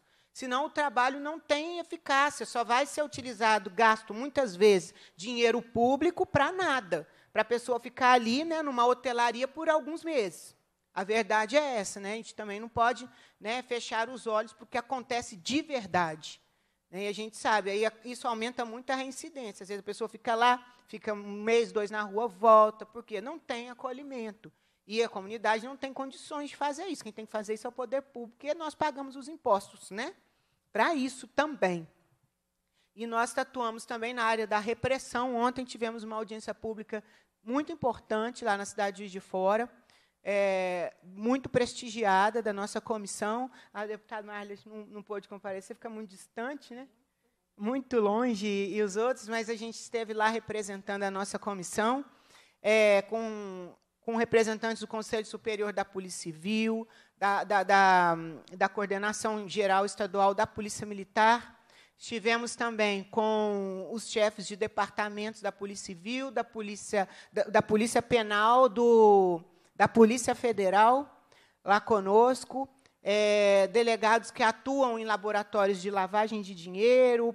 Né? E, então, nós estivemos ali discutindo também o papel da repressão, que é muito importante também. Né? A repressão ela é importante. E nós tivemos ali dados importantíssimos né? É, que essas autoridades passaram para a gente com muita clareza, porque ali é uma região que está sendo invadida por facções criminosas, por fazer divisa com o Estado do Rio de Janeiro. Nenhuma autoridade passou pano na situação, nenhuma. Todo mundo reconheceu a, a situação gravíssima. Juiz de Fora, a região da Zona da Mata, sempre foi uma região tranquila e pacífica, mas hoje estão acontecendo mortes nos presídios por disputas de território. Pega muito ali a interferência né, do Estado do Rio de Janeiro por fazer divisa mesmo com o Estado do Rio de Janeiro e armamentos pesados. Agora já vem acontecendo crimes que não aconteciam antes, como sequestro, que tivemos registro, é, sequestro relâmpago, sequestro mesmo, que foi evitado, inclusive, por uma força-tarefa, já sabendo né, dessa situação, a, a Polícia Civil, em conjunto com a Polícia Militar, já montou uma força-tarefa lá, com dois delegados muito experientes, inclusive foi policial comigo da CORE, no Rio de Janeiro. Ele na CORE e eu não, né? Mas ele trabalhou na Core o, o, período que eu estive lá e a gente tinha uma parceria muito grande. Eu, eu vim para Minas como delegado aqui, ele veio dois anos depois. E ele está lá hoje ajudando nessa força-tarefa. E eles conseguiram, inclusive, impedir um sequestro de um, de um jovem lá e, e prender o, os autores de imediato. Então, essas providências são cobranças aqui dessa comissão, porque a repressão também faz parte. Porque se, a gente não, porque se a gente fechar os olhos também para o problema do tráfico de drogas, que, a meu ver, né, é, são as organizações criminosas mais sangrentas que tem e que estão impactando demais os índices de segurança pública do mundo. Né? A gente sabe que a, a, aqui a América Latina eles, é, representa é, 40% das mortes que acontecem no mundo, e o número de populacional é, é, é ínfimo né, diante do, da, da, do restante dos países, né, das outras Américas. Então, o problema é muito sério, e essa comissão ela realiza um trabalho extremamente importante, por isso que é sempre bom a gente contar com a parceria de vocês também, né, com a parceria aqui do Poder Público, Ministério Público, do Poder Judiciário, né, para que o, vocês trabalham sempre, trabalhem sempre cada vez mais, de forma muito unida, muito integrada, todas as forças policiais, o sistema prisional, o Ministério Público e o Judiciário.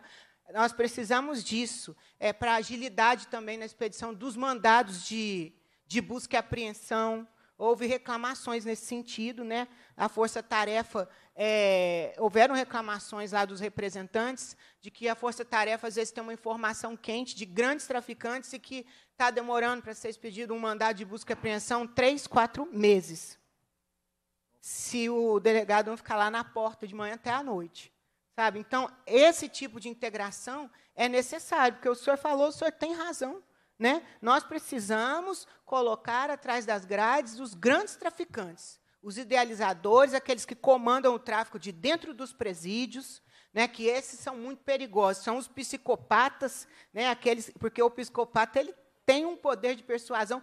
muitas pessoas se questionam: ah, mas lá o Fernandinho Beiramar está lá dentro do presídio, lá no fim do mundo, e está comandando o tráfico no Rio de Janeiro. Como assim?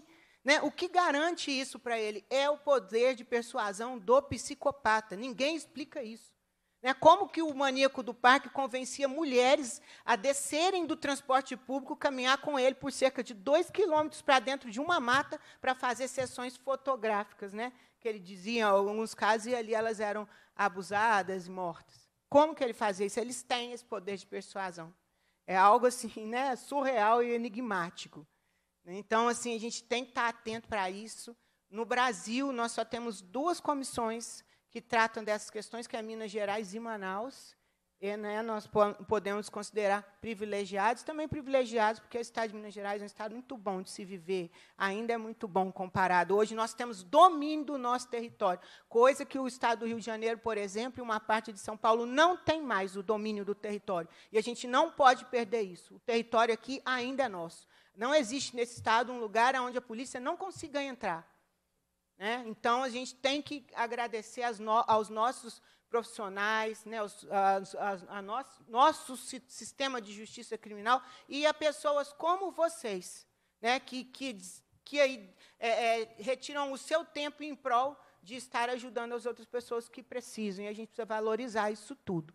Tá? Então, muito obrigada, Marli, né, por ter proposto essa audiência pública para discussões importantes e a presença de cada um de vocês aqui. Tá? Podem contar sempre conosco.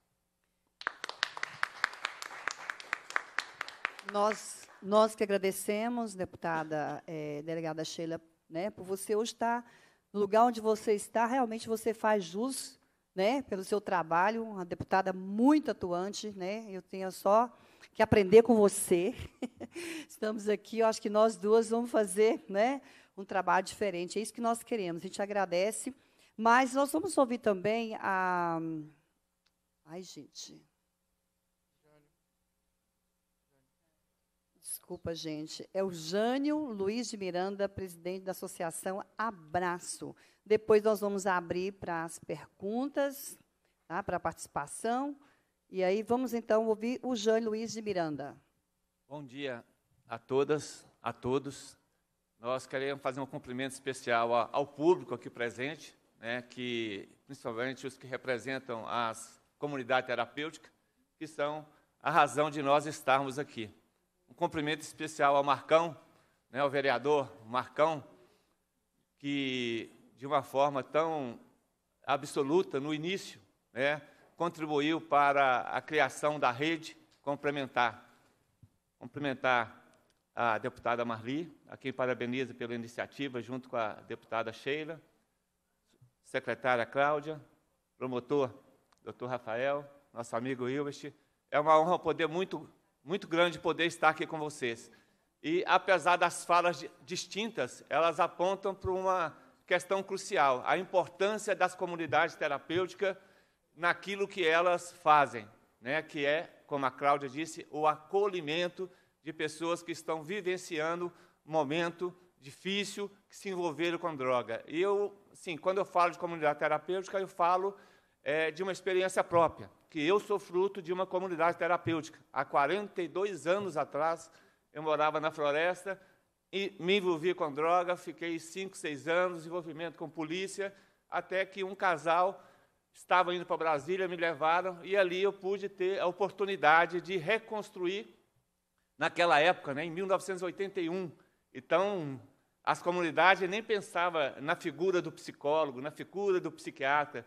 Então, era muito ali trabalho, oração, né, estruturas limitadas, mas mesmo assim, naquele momento, a gente teve a oportunidade de refazer, né, ressignificar a vida e nós estamos aí há 42 anos limpos e envolvidos nesse trabalho. Né? Hoje, não tanto, nós estamos ali na Abraço. A Abraço ela tem uma, é uma, uma, uma, um olhar maior para o atendimento ambulatorial, para a capacitação, para a prevenção. A Brás foi fundada pelo professor Elias Murat, é, a quem se confunde com a política sobre drogas no nosso país e até no mundo. Né? Não tem como falar da Abraço sem falar do professor Elias e o grande legado que ele deixou como homem público, como presidente da instituição, como alguém que toda a sua vida lutou né, por uma política sobre drogas né, que realmente tenha resultado, impacto. E nós estamos aqui por isso. Né? Então, assim, a gente agradece ao convite que nos foi feito. É, abraço está à disposição né, da comissão, à disposição das comunidades terapêuticas. Hoje a gente tem trabalhado muito a questão da, das capacitações. Né? Muitas vezes temos captado recursos para poder disponibilizar capacitação e formação gratuita para os, os gestores das comunidades terapêuticas, porque às vezes é, é, é uma dificuldade maior quando você passa para um gestor que ele tem que pagar ali 500, 600, 700 reais para poder se capacitar. Então, assim, fica aqui um, uma proposta nesse sentido, né, para que tanto a subsecretaria quanto a, a, comissão possam ter um olhar diferenciado nesse sentido, né, da importância de capacitar os nossos monitores, os nossos gestores, e realmente, como é, a Cláudia falou, eu creio que é uma das poucas políticas que envolve, deveria envolver toda a sociedade, é, a, o setor público, privado, a, enfim, porque ela está ligada realmente a, a, todos os segmentos e muitas vezes ela não é olhada dessa forma. Então nós agradecemos realmente essa essa oportunidade de estar aqui e poder de alguma forma contribuir para que a gente tenha, né, esse Estado que já foi uma grande referência, ele continue sendo essa referência e continue fazendo diferença na, no nosso país. Então, muito obrigado, Deus abençoe a todos. Foi.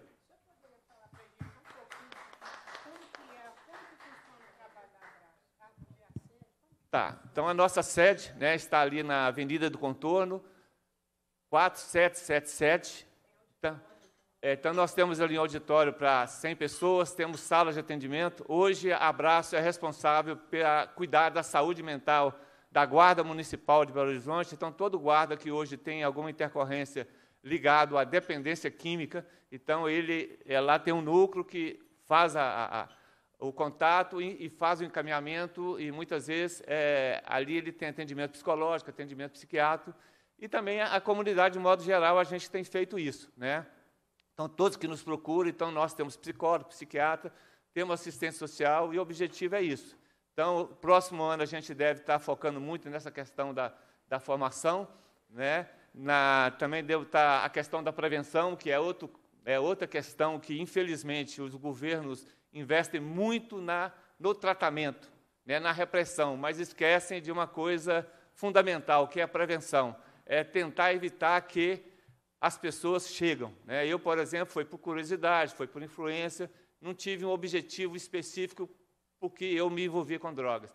Mas muitos são por curiosidade mesmo, outros são por influência. Enfim, se a gente conseguir fazer né, é, programas de tipo ProERG, de prevenção, que tenham realmente um resultado eficiente, então nós vamos ter menos pessoas para internar e mais recursos lá na frente para poder investir em outras questões. Né? E realmente, como o doutor Rafael falou, é, é importante que cada serviço reconheça a, a necessidade do outro. Então, assim, são vários serviços e que todos eles são importantes. Né? Então, o CAPS não é mais importante dessa comunidade, que não é mais importante do que aquilo ali.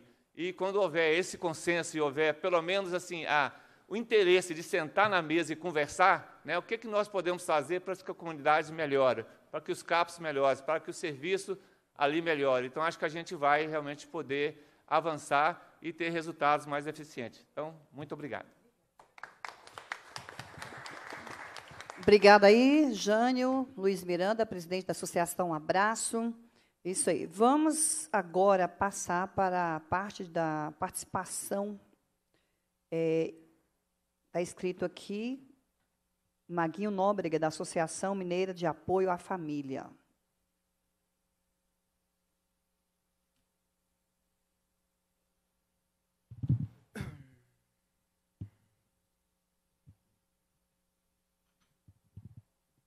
Primeiro, bom dia. Agradecer a Deus pela oportunidade da gente estar aqui, né? Esperando mais um dia. E nós é, participamos, eu quero agradecer ao Jânio, né, que está sempre, desde 2009, é um parceiro e que nos ajudou a mobilizar as pessoas para que essa, essa audiência pública acontecesse. E nós recebemos nos grupos de WhatsApp, né, Jane, várias perguntas e vários agradecimentos. Então, são três perguntas e três é, agradecimentos.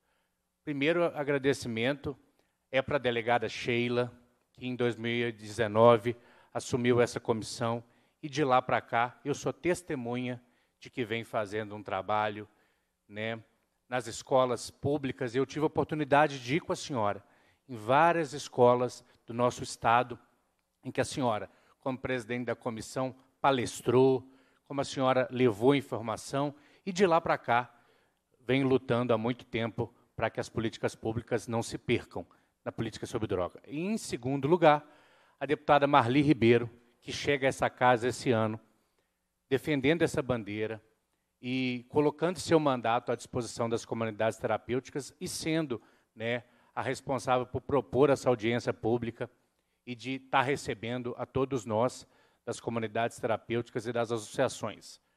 A, a MAF, Associação Mineira de Apoio à Família, foi fundada em 2009 e o trabalho dela é em conjunto com as comunidades terapêuticas. Ela ajuda os familiares dos dependentes químicos através de grupos de apoio e ela já conseguiu é, atender mais de 6 mil pessoas de lá para cá a gente faz o encaminhamento para as comunidades terapêuticas e está ali, ó, uma pessoa que me salva quase que todo dia, que é o Jânio, e quando a gente não consegue nas nossas redes, porque as vagas são muito pequenas, e o Jânio está sempre nos ajudando, é um parceirão, e eu ligo para ele desesperado, falo, Jânio, eu não consigo atender, não tem lugar para receber. Ele fala, calma, Maguinho, que nós vamos dar um jeito. minutos depois, as comunidades terapêuticas nos ligam e falam assim: ó, o professor Jânio deu a missão, está cumprido aqui, eu preciso do encaminhamento, eu preciso da anamnese, tudo direitinho, e aí a gente respeita a organização e a pessoa é tratada. E o outro agradecimento é, é o Jânio, que a gente já fez aqui, por se dedicar, sabe, Jânio? E saiba que o movimento te admira muito por seguir o legado do Elias Murá, de representar a Abraço e de ser esse irmãozão. Não só daqueles momentos, né, Jânio, que a gente tem para comemorar igual a esses, que hoje é um momento para comemorar. É daqueles momentos que a gente chora. Quando a gente perde um recuperando, quando a família já não sabe o que fazer. É quando o doutor aqui disse, é quando lá no interior a gente fala que a vaca já foi para o brejo. Mas as perguntas são para, primeiro, para o representante da federação. A gente quer agradecer ao Diego também, que é um parceirão, vocês todos são parceirão. Nós gostaríamos muito de saber o que está acontecendo agora, né? Me parece que ele, tá, ele não pôde participar, porque ele está ajudando a credenciar a, a comunidades terapêuticas no Estado. E aí a pergunta, a SUPOD participou disso, o Conselho Antidroga participou disso, é um trabalho em conjunto ou como que foi criada essa autorização para que vocês possam certificar? A primeira pergunta é para o senhor, e depois o senhor nos responde, por favor. A, a segunda é para o doutor é, Renato Rafael. É, as comunidades terapêuticas na Zona da Mata estão sofrendo com os fechamentos das suas unidades. Eu vou, sou prova disso no município de Cataguases, Juiz de Fora, Ubá, Muriaé e a Zona da Mata, a delegada Sheila com certeza sabe, a delegada Marli com certeza sabe, nós tivemos inúmeras comunidades terapêuticas fechadas. Claro que tem um critério, né? nós temos que respeitar leis, nós precisamos fazer muita coisa, mas as comunidades terapêuticas, a pergunta delas, é, não, antes do fechamento, não, não era melhor fazer uma reunião, chamar a Comissão de Política sobre Droga, a SUPOD, os prefeitos, toda a rede, para que a gente possa ter um tempo de adequação, porque muitas dessas pessoas que tiveram as comunidades terapêuticas, elas estão agora, doutor, debaixo da ponte. Elas estão agora nos sinais, elas estão agora se prostituindo e fazendo tudo que a rede tem. E a terceira e última pergunta é a secretária Cláudia. Nós vimos aqui que nós só temos 38 cidades atendidas num ambiente de 853. Um valor muito pequeno de investimento no Estado, vagas muito pequenas, e existe, desde que a senhora assumiu, um planejamento para executar de imediato o aumento do recurso das vagas, e existe um planejamento para esse ano, para o ano que vem, para o outro ano, e como que vai se dar isso? A gente sabe que a gente precisa avançar.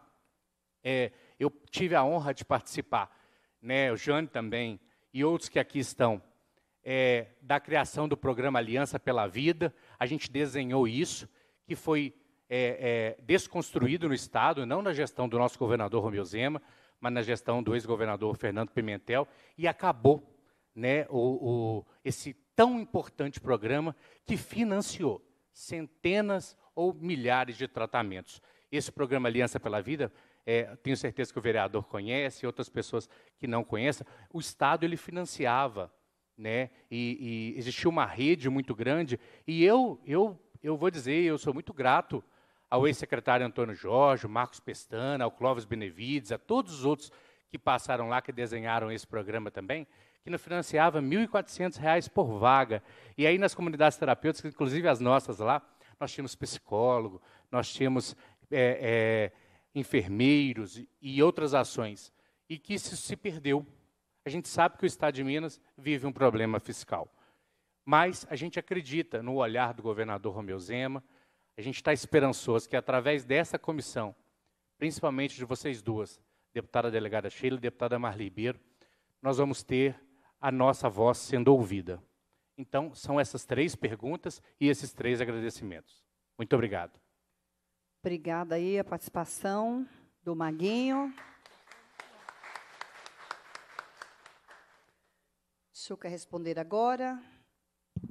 Por mim, não faz. Ele perguntou primeiro para o Jânio, né? Mas Pro eu Jânio. não quero furar a fila de ninguém, não. É, tá certo. É o Elbich? Pro Hilbert, ah, desculpa. Pro Hilbert, tinha sido que era pro Jânio. Bom, vamos lá. É, eu estou representando realmente o Diego. Ele, por uma questão de agenda e também de saúde, ele não pôde comparecer, tá? É, então, as informações que a gente tem até o momento, é, relacionado à pergunta, é que a federação tem feito uma caminhada um pouco sozinha para conquistar algumas coisas. A gente tem tido uma demora do Conselho Estadual nas demandas né, que a gente tem feito a eles. Tem tido uma demora, e essa demora tem atrasado alguns processos. Né? A gente tem uma boa interlocução na SUPOD estadual, na SUBPOD, perdão, e que tem nos orientado e nos ajudado bastante. Mas no que contesta a pergunta, a gente tem caminhado, feito uma caminhada muito sozinho. Tá? E, e sempre abertos às novas parcerias, a, a, a, a ajuda mútua para que a gente possa conquistar aí o pleito em resposta para tudo. Então, trabalhamos, a federação não trabalha sozinho e não trabalha apenas para os seus federados, tá? Nós trabalhamos para o colegiado inteiro das comunidades terapêuticas do Estado de Minas. Obrigado. Marcos Nóbrega, não é isso? Obrigado pela pergunta. É, Antes de eu responder, eu vou fazer só uma introduçãozinha. Uma vez no evento, estava no início da carreira, a gente foi para um evento é, da população em situação de rua lá no Conselho Nacional do Ministério Público, e um colega promotor mais antigo falou que foi num evento na Alemanha, e aí ele estava tentando explicar para um alemão o que era um TAC. E aí falou assim, não, é quando a pessoa está descumprindo a lei, aí ela tem, a gente dá um prazo para ela se adequar, não sei o quê. Aí, não entendi, o alemão respondia. Não, mas a gente faz um acordo e aí a pessoa dá, ganha um tempo para poder se adequar, não sei o que, o alemão não entendi. Aí ele explicou de novo na terceira, o, aí, o alemão não entendia. Ele, o que, que você não está entendendo? Ele falou, não, porque no meu país lei se cumpre. Só que nós não somos alemães. Isso ficou na minha cabeça, né? Não estou dizendo que aqui a gente tem que fazer jeitinho brasileiro, nada disso. Mas no Brasil a gente tem essa previsão do TAC, termo de ajustamento de conduta. E outros termos para em outras áreas. Nós temos também acordo de não persecução penal, acordo de não persecução civil, quando é questão de irregularidades. Mas, onde eu estou querendo chegar com isso? Quando eu estava na Promotoria de Saúde de Idoso de Uberaba, eu tinha um projeto, a gente, eu tinha a obrigação de fiscalizar as ILPIs, que também tem normativas específicas, RDC 502, para ser cumpridas. E existiam algumas ILPIs que elas realmente não tinham, não tinham solução. Elas já tinham sido é, inspecionadas pela vigilância sanitária várias vezes e realmente elas não se adequavam. E essas, infelizmente, a gente teve que interditar. Agora, existiam outras ILPIs que elas estavam no meio do caminho. E esse tipo de, de situação acontece porque a gente realmente está num processo de transição do amadorismo para a profissionalização. E, e, isso eu vejo também nas comunidades terapêuticas. Tem muita boa intenção, mas ainda falta profissionalismo em muitos casos. E, a partir do momento que vocês estão tratando com recursos públicos, a gente tem que ter um cuidado redobrado. Porque como é que eu vou compactuar com uma irregularidade de alguém que recebe recursos públicos, certo? Eu vou estar sendo conivente, até cúmplice. Então, eu entendo a posição do colega quando ele parte para tentar o fechamento dessa, dessa comunidade terapêutica irregular. Mas, e aqui eu não estou dizendo nem criticando a posição do colega, porque eu não conheço o caso. Tá? É, em tese, sim, é possível, nas comunidades terapêuticas cujas, cujas irregularidades não sejam tão gritantes e que seja possível, em um determinado prazo, a sua adequação, é possível sim a gente trabalhar com um termo de ajustamento de conduta. E eu gosto bastante desse instrumento, porque no termo de ajustamento de conduta é mais ou menos o seguinte: é como se fosse um, uma recuperação judicial de uma empresa que está para falir. Certo? Você tem um plano lá, se você seguir o plano, a empresa vai continuar. Se você não seguir o plano, vai fechar. Então, eu entendo que se, se quiserem transmitir é, essas informações para os colegas de lá da Zona da Mata, é, eu acho que seria interessante uma atuação para justamente você ver quais que dá para salvar e quais têm que ser fechadas. É, mas, assim, em tese, sim, é possível, mas não pode ser feito de uma forma é, indiscriminada. É uma situação caso a caso. Então, aquelas que estão Com algumas irregularidades menores, sim, é possível a gente fazer um termo de ajustamento de conduta para poder adequar. Agora, tem umas que realmente funcionam ainda como se fosse na década de 60. Aí, realmente, não dá. Entendeu? Assim, é, a gente está num outro momento e essa profissionalização, ela dói um pouco, mas ela tem que ser seguida. Muito boa fala. Respondeu até a minha pergunta aqui, uma delas, né? É, eu quero aqui também agradecer e restar a presença das pessoas que estão me, nos acompanhando de forma remota, que é a Carla Valério Soares Vita, Fabiano Soares Vita, representando a comunidade terapêutica Recanto dos Buritis, do Norte de Minas, Unidade Pirapora e Laçance, também parabenizo a iniciativa dessa audiência pública. É, também temos aqui alguém que quer participar, não é? Ah, não. Tem a Fernanda da Fundação Frei Antônio Puglisi, de Uberlândia, também está acompanhando. Obrigada pela participação. É, vamos então passar para a Cláudia para também responder aí que teve esse, nesse questionamento, né? Marcos, obrigada pela pergunta. É, antes de responder, só quero também registrar, né, em relação às declarações é, das comunidades terapêuticas exigidas pelo governo federal, né, que foi até perguntada né, para o representante da Federação das Comunidades Terapêuticas. A gente atua em conjunto com a federação. Né, no mesmo dia que saiu o edital do governo federal, o Diego, presidente, me ligou, falou: Cláudia, as declarações? Falei: conte conosco. Né, as entidades que possuem é, é, termo de colaboração com o governo do Estado, elas vão receber as declarações. Né? Então, assim, a gente vem trabalhando né, em conjunto para que a gente possa né, solucionar essas questões é, da melhor forma possível. Então, o governo de Minas, sim, a Subsecretaria de Políticas sobre Drogas está é, é, emitindo essas declarações para as instituições que recebem recursos do governo do Estado. Em relação à sua pergunta, Marcos, hoje, né, realmente, o número de vagas é pequeno. Né, hoje nós temos 516 vagas em comunidades terapêuticas por mês. Né, cada comunidade terapêutica disponibiliza 12 vagas é um número ainda muito pequeno. O valor que a gente repassa é 9,5 milhões ao ano. É, né, também para as entidades de prevenção ainda é bem menor, né, que são 12, é, 13 instituições. A intenção, sim, é ampliar, né, mas ampliar com responsabilidade. Né? Como o, o, o doutor Rafael falou, a gente precisa, sim, de ter um diagnóstico, né? Por isso que a gente vem trabalhando com a Universidade Federal de Minas Gerais. Precisamos de fazer pesquisa, precisamos de formar as, né, as, as pessoas, os profissionais, os gestores, e é assim que a gente pretende é, trabalhar. Então, a gente, ano que vem, é, em meados né, do ano que vem, a gente pretende, sim, publicar o um novo edital, é, mas sempre né, fazendo né, como eu disse, né, fazendo essas pesquisas, sabendo o que, que a gente precisa realmente, formando os profissionais e gestores para que a gente tenha um trabalho de excelência. Né? Porque nós somos questionados pelo Ministério Público, nós somos questionados pelas instituições que são contra as comunidades terapêuticas, nós somos questionados por várias né, por vários setores, porque a gente sabe que a comunidade terapêutica não é só um problema só de acolhimento.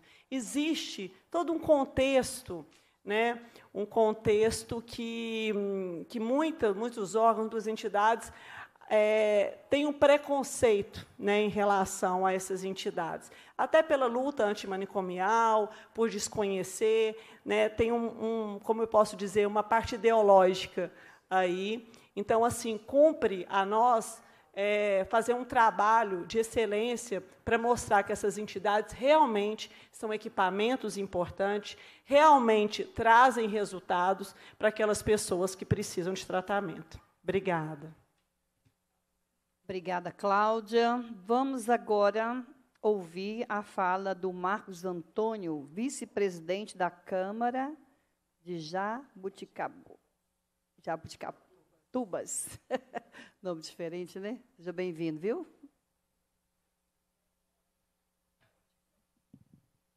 Bom dia a todos. É, deputada Marli, deputada Sheila, senhor promotor, Cláudia, amiga de vários anos, é, pastor Jânio, Helbert. É, essa luta nossa, gente, já não é de agora. Né? Paulo, Paulo está aí, Paulo também é companheiro da, da antiga. Né? É, essa luta nós das comunidades terapêuticas, já pegamos esse penarinho aqui lotado, deputado, cheio, né, de pós e conta, aquele que falou, um puxa para o lado, outro puxa para o outro. Eu acho sim, nós devemos trabalhar em rede. Todos já falaram aqui. Eu acho que, é, comunidade terapêutica, é, como o nosso amigo falou, eu participei em Uberlândia, não sei se o Jânio lembra, a caça-bruxas que teve em Uberlândia. É, o Clóvis conseguiu o avião do governo, embarcou eu, o pastor Wellington e a Geisa, embarcamos para Uberlândia, reunião com o promotor fez uma reunião com o prefeito municipal, com nós três, e falou: ó, amanhã vai ter uma operação. Se vazar, todos três presos. Gente, não queira estar no nosso lugar. Ele entregou os mandatos de busca e apreensão, tinha até mandado de prisão. Entregou na mão do delegado, do comandante, falou: cumpra-se. Não abria, não, o cara vinha com o pé, com o cavalo, batia. Pá! Nós pegamos, nós, nós é, eles abordaram psicólogos atendendo, e na hora que eles iam dar a, a busca superficial, encontravam remédio, tarja preta, sem receituário. O que, que eles fizeram? Prenderam para psicólogo. A gente chorava, a gente como representando. Então, mas também nós encontramos gás com um pedaço de pau, senhor promotor, escrito, ai Jesus, o outro escrito, Nossa Senhora. É, é, salas de tortura, pessoas com alimentação assim que, pelo amor de Deus, sabe? Nem os animais da nossa comunidade comiam aqueles, aqueles pães, aquelas coisas. E depois nós fomos descobrir que era uma guerra ideológica, uma guerra política que estava tendo na cidade, mas também nós encontramos é, estruturas assim fantásticas, sabe? É, Uberlândia para mim foi assim uma, é um exemplo de tudo que se pode fazer e de tudo aquilo que não se pode fazer. Porque nós encontramos os dois lados. Isso, para mim, foi um crescimento muito grande, que eu cheguei em Jaboticatubas e falei, não, nós vamos, ter que, nós vamos ter que mudar aqui. Nós começamos numa casinha de madeira, né? o senhor Davi tirando dinheiro do bolso dele, para hoje nós temos uma das melhores estruturas, eu posso falar de cadeira, porque nós recebemos Ministério Público, Vigilância Sanitária Estadual, Municipal, Federal, é, todos os dias nós temos uma, uma visitação lá. E nós recebemos é, subvenção da prefeitura e o prefeito lá, ele é, sabe? Então nós somos, nós somos assim, é, cobrados todos os dias. Hoje nós temos uma equipe de seis monitores, três psicólogos, dois assistentes sociais, enfermeira, cozinheiro, motorista. Nossos acolhidos não fazem qualquer tipo de serviço. Cozinha, nós temos a cozinheira. Né? Isso que a. Não sei se foi a doutora que falou, nós ainda estamos arcaico de juntar as receitas, doutor, e, e ir até o médico, que é amigo do Marcão, que é amigo da minha esposa, que trabalhou 30 anos no hospital, e ele troca a receita. Né? Nós ainda estamos nessa. A doutora falou, serviu para mim. É uma coisa que eu sento com o secretário de saúde e falo, pelo amor de Deus, Arlen. E eu sou líder do prefeito, só tem ideia. E eles não vão. Ah, nós não temos médico. Se quiser, você desloca com os meninos até o posto. Mas como que eu vou deslocar? Com... Lá nós temos um universo de 34 acolhidos. 12 pela Subpod e 22 no Brasília. Como que nós, desses 34, 28 faz tratamento medicaminoso? Né? Como que a gente vai ficar deslocando? Então, é, nós estamos até tentando arrumar um jeito de tá, a, a delegada Sheila falou a coisa certa. A gente está tentando é, é, suprir essa falta do médico para ver como que a gente vai fazer. Tá? É, é, outra coisa, o Jânio falou certo aí. Nós participamos é, da elaboração da rede de suporte complementar. E, através dessa rede, é, nós fomos a São Paulo para dar o pontapé inicial na, no programa Recomeço. Nós fomos ao Rio de Janeiro. Eles falam-se muito em Cracolândia de São Paulo, né? Alguém aqui conhece as duas Cracolândias do Rio de Janeiro? Uma em Manguinhos e outra é, na entrada da favela do Jacarezinho, na Dom Helder Câmara. Gente, né? você conhece? Gente, aquilo é subhumano. Todos os dias quase morre um dependente químico atravessando a Washington Luiz, em Manguinhos. Aí eles dão, notícia, porque é ruim para o governo, é ruim para as políticas, é ruim para eleger o deputado da região, é ruim para eleger o vereador da região. Então, foi nos falado isso. O comandante da Polícia Rodoviária Estadual do Rio de Janeiro falou isso com o Clóvis do meu lado. Todos os dias, Clóvis, morre um ou fica sequelado. E graças a Deus, nós ainda não chegamos nesse ponto. Nós tínhamos um trabalho, né, Jânio, que nós resgatávamos os meninos dentro das favelas de Belo Horizonte, hoje é aglomerado. Era eu e a Patrícia. A Patrícia foi até é, subsecretária de Política sobre Drogas. Eu e a Patrícia entrávamos dentro da pedreira, dentro do aglomerado da Serra, e os traficantes, sabe o que eles falaram com nós? Os lixos estão ali, ó. pode buscar. Os lixos estão ali, pode buscar. Eles estão atrapalhando, que a polícia todo dia está aqui enchendo o saco, eles roubam o asfalto só para cá.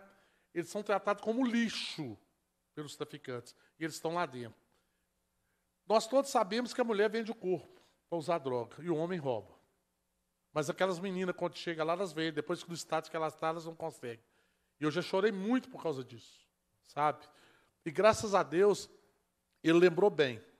Nós tínhamos as vagas, Cláudio, era R$ 1.400 a bem antes. Aí entrou o governo Pimentel, sei por cargas d'água, cortou tudo. Aí vocês entraram, né, tentaram reerguer, foi o que vocês puderam, né, e graças a Deus ainda está podendo. Gente, nós temos uma alimentação lá na. Eu estou com as fotos aqui, é da nossa alimentação lá na, na, na Reviver. Nós temos um, um cardápio. Ele é balanceado. Lá, eu estou na comunidade desde 97. Nós nunca comemos sem carne. Esse menino, você foi acolhido nosso lá, você sabe. Nós nunca comemos sem carne. Nós temos o sacolão lá que é. Nós doamos para a população carente de jaboticatubas. Nós sempre fizemos esse trabalho. Sabe? Nós temos o orgulho de dizer, porque nós nunca é, tivemos óbito dentro da comunidade, nós nunca tivemos suicídio dentro da comunidade. Não estou desmerecendo as que tiveram, não, tá? Sabe por quê? Nós fazemos um trabalho de triagem há muitos anos, que muitas vezes nós somos cobrados por exigências para internar. Mas nós temos de ter essa, essa, essa exigência, gente. O pai e a mãe, quando está querendo internar um filho, ele chega a te pedir, pelo amor de Deus, pode internar de qualquer jeito. Aí você interna um menino lá, ele suicida, você vai responder civil e criminalmente. O pastor Ed ficou sem poder sair do Estado muito tempo.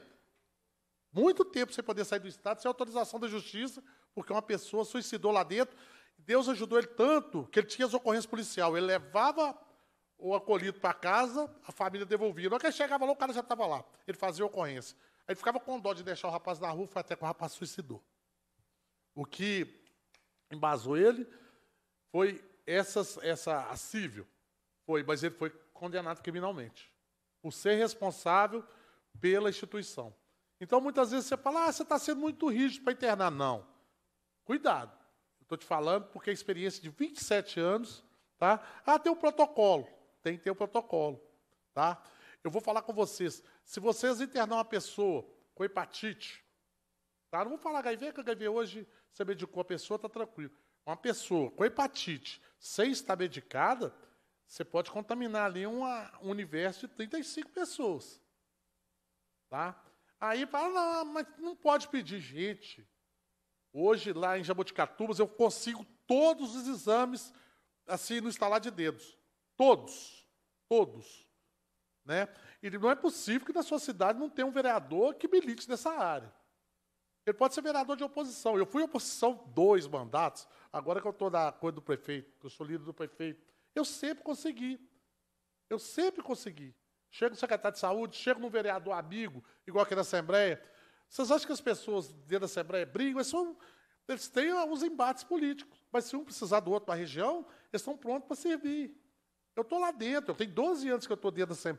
Eu trabalhei nessa casa, com o deputado Sérgio Moreira, né? eu fui sair daqui direto, fui para ser vereador. Então, gente, vamos ter cuidado. Cuidado na hora de internar. Por mais que chegue a Cláudia e fale, oh, vocês estão sendo muito rígidos, o Diego, né? né? Vocês estão sendo que já chegou para nós, nós estávamos sendo muito rígidos, nós e Ouro Branco. Pessoal, Maria Séria, que nós tínhamos um protocolo que nós seguimos, foi, foi formulado lá no Hotel Tauá, por um grupo de profissionais, assistentes sociais, psicólogos, eh, a equipe da, da subsecretaria com a Geisa, com. Mas tinha mais umas três lá. Foi formulado por eles. Eu achei muito grande. Tá? Era muita coisa, era muito complexo. Mas eu acho que os dois relatórios, médicos, psiquiátricos e o dentário, gente, porque na hora que a pessoa chega na comunidade terapêutica, o dedo dela começa a doer. Tá? Na hora que ele chega, que ele para, começa a doer, aí começa. Né? Então, eu acho que pelo menos esses três nós deveríamos despedir. E outra coisa, Cláudia, uma, uma pergunta para você, para me encerrar, para me delongar muito. É a respeito da pós. Como que você vai selecionar esses postulantes à vaga de pós-graduação? Nós tivemos uma vez, né, puxada pelo governo, a Fabiana era a nossa, que está com você lá hoje, não está? A Fabiana... Ela está na Secretaria de Segurança Pública, né, no gabinete do secretário adjunto. Ela não está na Subsecretaria de ah, Política tá. sobre Droga. Quem está com a gente é a Flávia. A Flávia. Flávia. A Flávia também fez, né? Na época. A, Fa, a Flávia e a Fabiana fizeram. Né? Inclusive, nós temos a graça de. A Fabiana foi nossa psicóloga. Aí eu gostaria de saber de você e saber do senhor, senhor promotor, essas, juntamente com a Cláudia, que vocês devem trabalhar junto, esses bens apreendidos. Como que está sendo hoje? Eles estão sendo como antigamente, a gente levava o documento, um ofício endereçado à senhora secretária, o promotor de, da vara de toque, justamente com o juiz, na época, é, tinha um juiz muito atuante, o doutor Zé Eustáquio, ele foi desembargador, deve ter aposentado, ele chancelava. Eu fui do Conselho Estadual Antidrogas também, a gente tinha acesso a ele, ele até brincava, cuidado, fica muito perto de mim não que sair não, né? porque ele foi o primeiro juiz a, a, a condenar Fernandinho Beiramar e bloquear todos os bens dele do Estado. Né? Só um detalhe, esse processo ainda está rolando, continua. É, né? então, é, eu gostaria de saber, Cláudia, como vai ser essa seleção e como vai ser essa, como será essa distribuição de bens apreendidos, né? É, porque nós sabemos que isso aí, quando entra numa comunidade terapêutica, gente, é, nós sabemos que a Fazenda Renascer, ela, hoje ela tem o um escritório dela numa casa de um conhecido traficante nosso aqui. Era dele. Eu sei que estava em Brasília, né, Cláudio? É, Brasília chancelou passou para a comunidade Renascer, uma casa na Pampulha, um dos lugares, é um dos metros quadrados mais caros de Belo Horizonte, hoje é o escritório da Fazenda Renascer. Isso para nós aqui, gente, muitos aqui não têm sede própria, muitos, muitas comunidades não têm um escritório, pagam aluguel, vive é, de, de, pedir às pessoas, um carnezinho, isso aqui. Isso para nós, senhor promotor, seria muito importante. Então, muito obrigado, doutora Marli, deputada Marli. Que Deus continue abençoando a senhora. Senhora delegada Sheila, eu já conheço a senhora, já fui bem recebido no gabinete da senhora.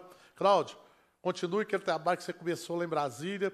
Traga para nós de novo, porque eu acho que professor na sala de aula, é médico, é, é na, no hospital, e você é junto conosco na subsecretaria de drogas. Depois do você e o CROSS para nós são espelho Espero que você continue com seu brilhante trabalho conosco aí por mais quatro, oito anos. Muito obrigado, gente.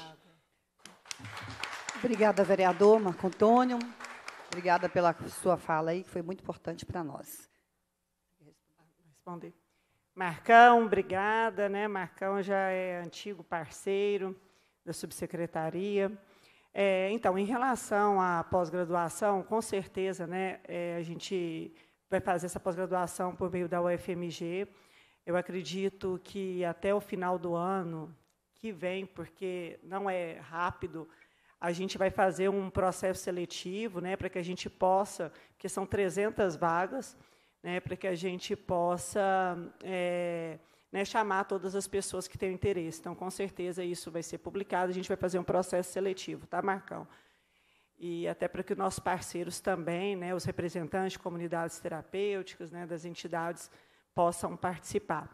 Vou aproveitar né, sobre os bens apreendidos. Né, eu estive né, no governo federal quatro anos e tinha né, uma portaria publicada, né, duas portarias. É, uma portaria que estabelecia a doação dos bens apreendidos para as instituições, a doações de bens né, móveis, os veículos, e dos imóveis, que foi uma inovação mesmo, que a gente conseguiu fazer a doação para a Fazenda Renascer, né, que é uma casa na Pampulha. E a gente entende que esse processo realmente é matar dois coelhos com uma cajadada só. Né? Você descapitaliza o narcotráfico e investe em ações de tratamento, prevenção e reinserção social. E o que, que acontece? Quando eu estava né, na, na Subsecretaria de Política sobre Drogas, como subsecretária, a gente fazia essas doações. Por quê? Porque é um bem federal, né? é uma parceria que a gente tem com o governo federal. Só que agora, ainda, a, com essa mudança de governo, as portarias, eu já estou entrando em contato, vou ter uma reunião na próxima semana é, em Brasília. Nós vamos ficar lá três dias. Para quê? Para que a gente possa resolver essa situação. Porque as portarias que estavam vigentes né, de doação para as entidades não estão mais, eles estão fazendo a reestruturação. Então, a gente não está conseguindo fazer essa doação desses bens para a entidade. Mas a gente quer, né, a gente vai pegar pesado lá para que eles regulamente, né, que eles né, publiquem novas portarias, para que a gente possa fazer isso. Né? Hoje a gente realiza os leilões, né, dos bens apreendidos, esses valores vão para o fundo, para o FUNAD, que também que é muito difícil da gente pegar esse recurso de volta, é só por meio de projetos. E a gente está trabalhando né, com o governo federal para que a gente possa resolver essa situação dos bens. Tá? Então, é isso. Quero, eu não sei se vou poder falar novamente, quero parabenizar né, a comissão é, de prevenção ao crack e outras drogas, né, a deputada Marli, a deputada Sheila, né, tive a oportunidade de participar de uma audiência pública com ela e realmente foi uma audiência que fez a diferença. Né, nós fomos convidados para o promotor agora. Né, o Diego até eu não pude ir, ele foi, só que aí acabou que mudou a data da reunião eu percebi que nessa audiência a gente conseguiu sensibilizar o Ministério Público, que não é só um problema das comunidades terapêuticas, porque a rede de saúde e assistência social ela tem que trabalhar em conjunto, e realmente, em muitas vezes, ela fecha os olhos para essa situação. Né? O caso das receitas poderia ser diferente. Então, assim, quero parabenizar a deputada, realmente foi um trabalho assim que a gente verificou que o, que o, que o Ministério Público ficou sensibilizado com a situação. Fiquei feliz, né, sair da audiência muito assim, muito alegre, né, de saber que a gente pode realmente, com o trabalho e com a cooperação, né, é, trazer um novo resultado. E, e quero também, né, é, parabenizar a comissão, a deputada Chiara Biondini não está aqui, também é uma deputada que faz um trabalho assim muito importante nessa área de política sobre drogas, né, com o deputado federal Eros Biondini. Então, quero dizer que nós estamos muito bem representados e que somente assim mesmo a gente vai conseguir fazer o enfrentamento né, é, desse problema tão sério de saúde pública. Obrigada.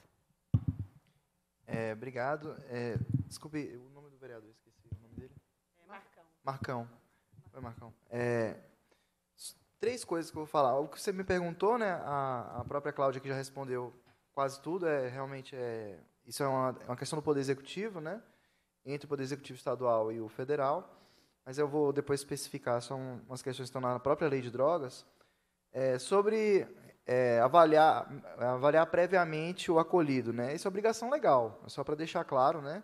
É o 26A, inciso 4 da lei de drogas, que foi incluído pela lei 13.840. É, 13.840. 13.840 então, assim, é obrigatório. Então, não é só, não é só tipo assim, eu acho que você estava pensando no sentido de que seria o prudente. Não é só prudente, é obrigatório. Tá? É, então, não pode receber ninguém sem essa avaliação médica prévia. Certo?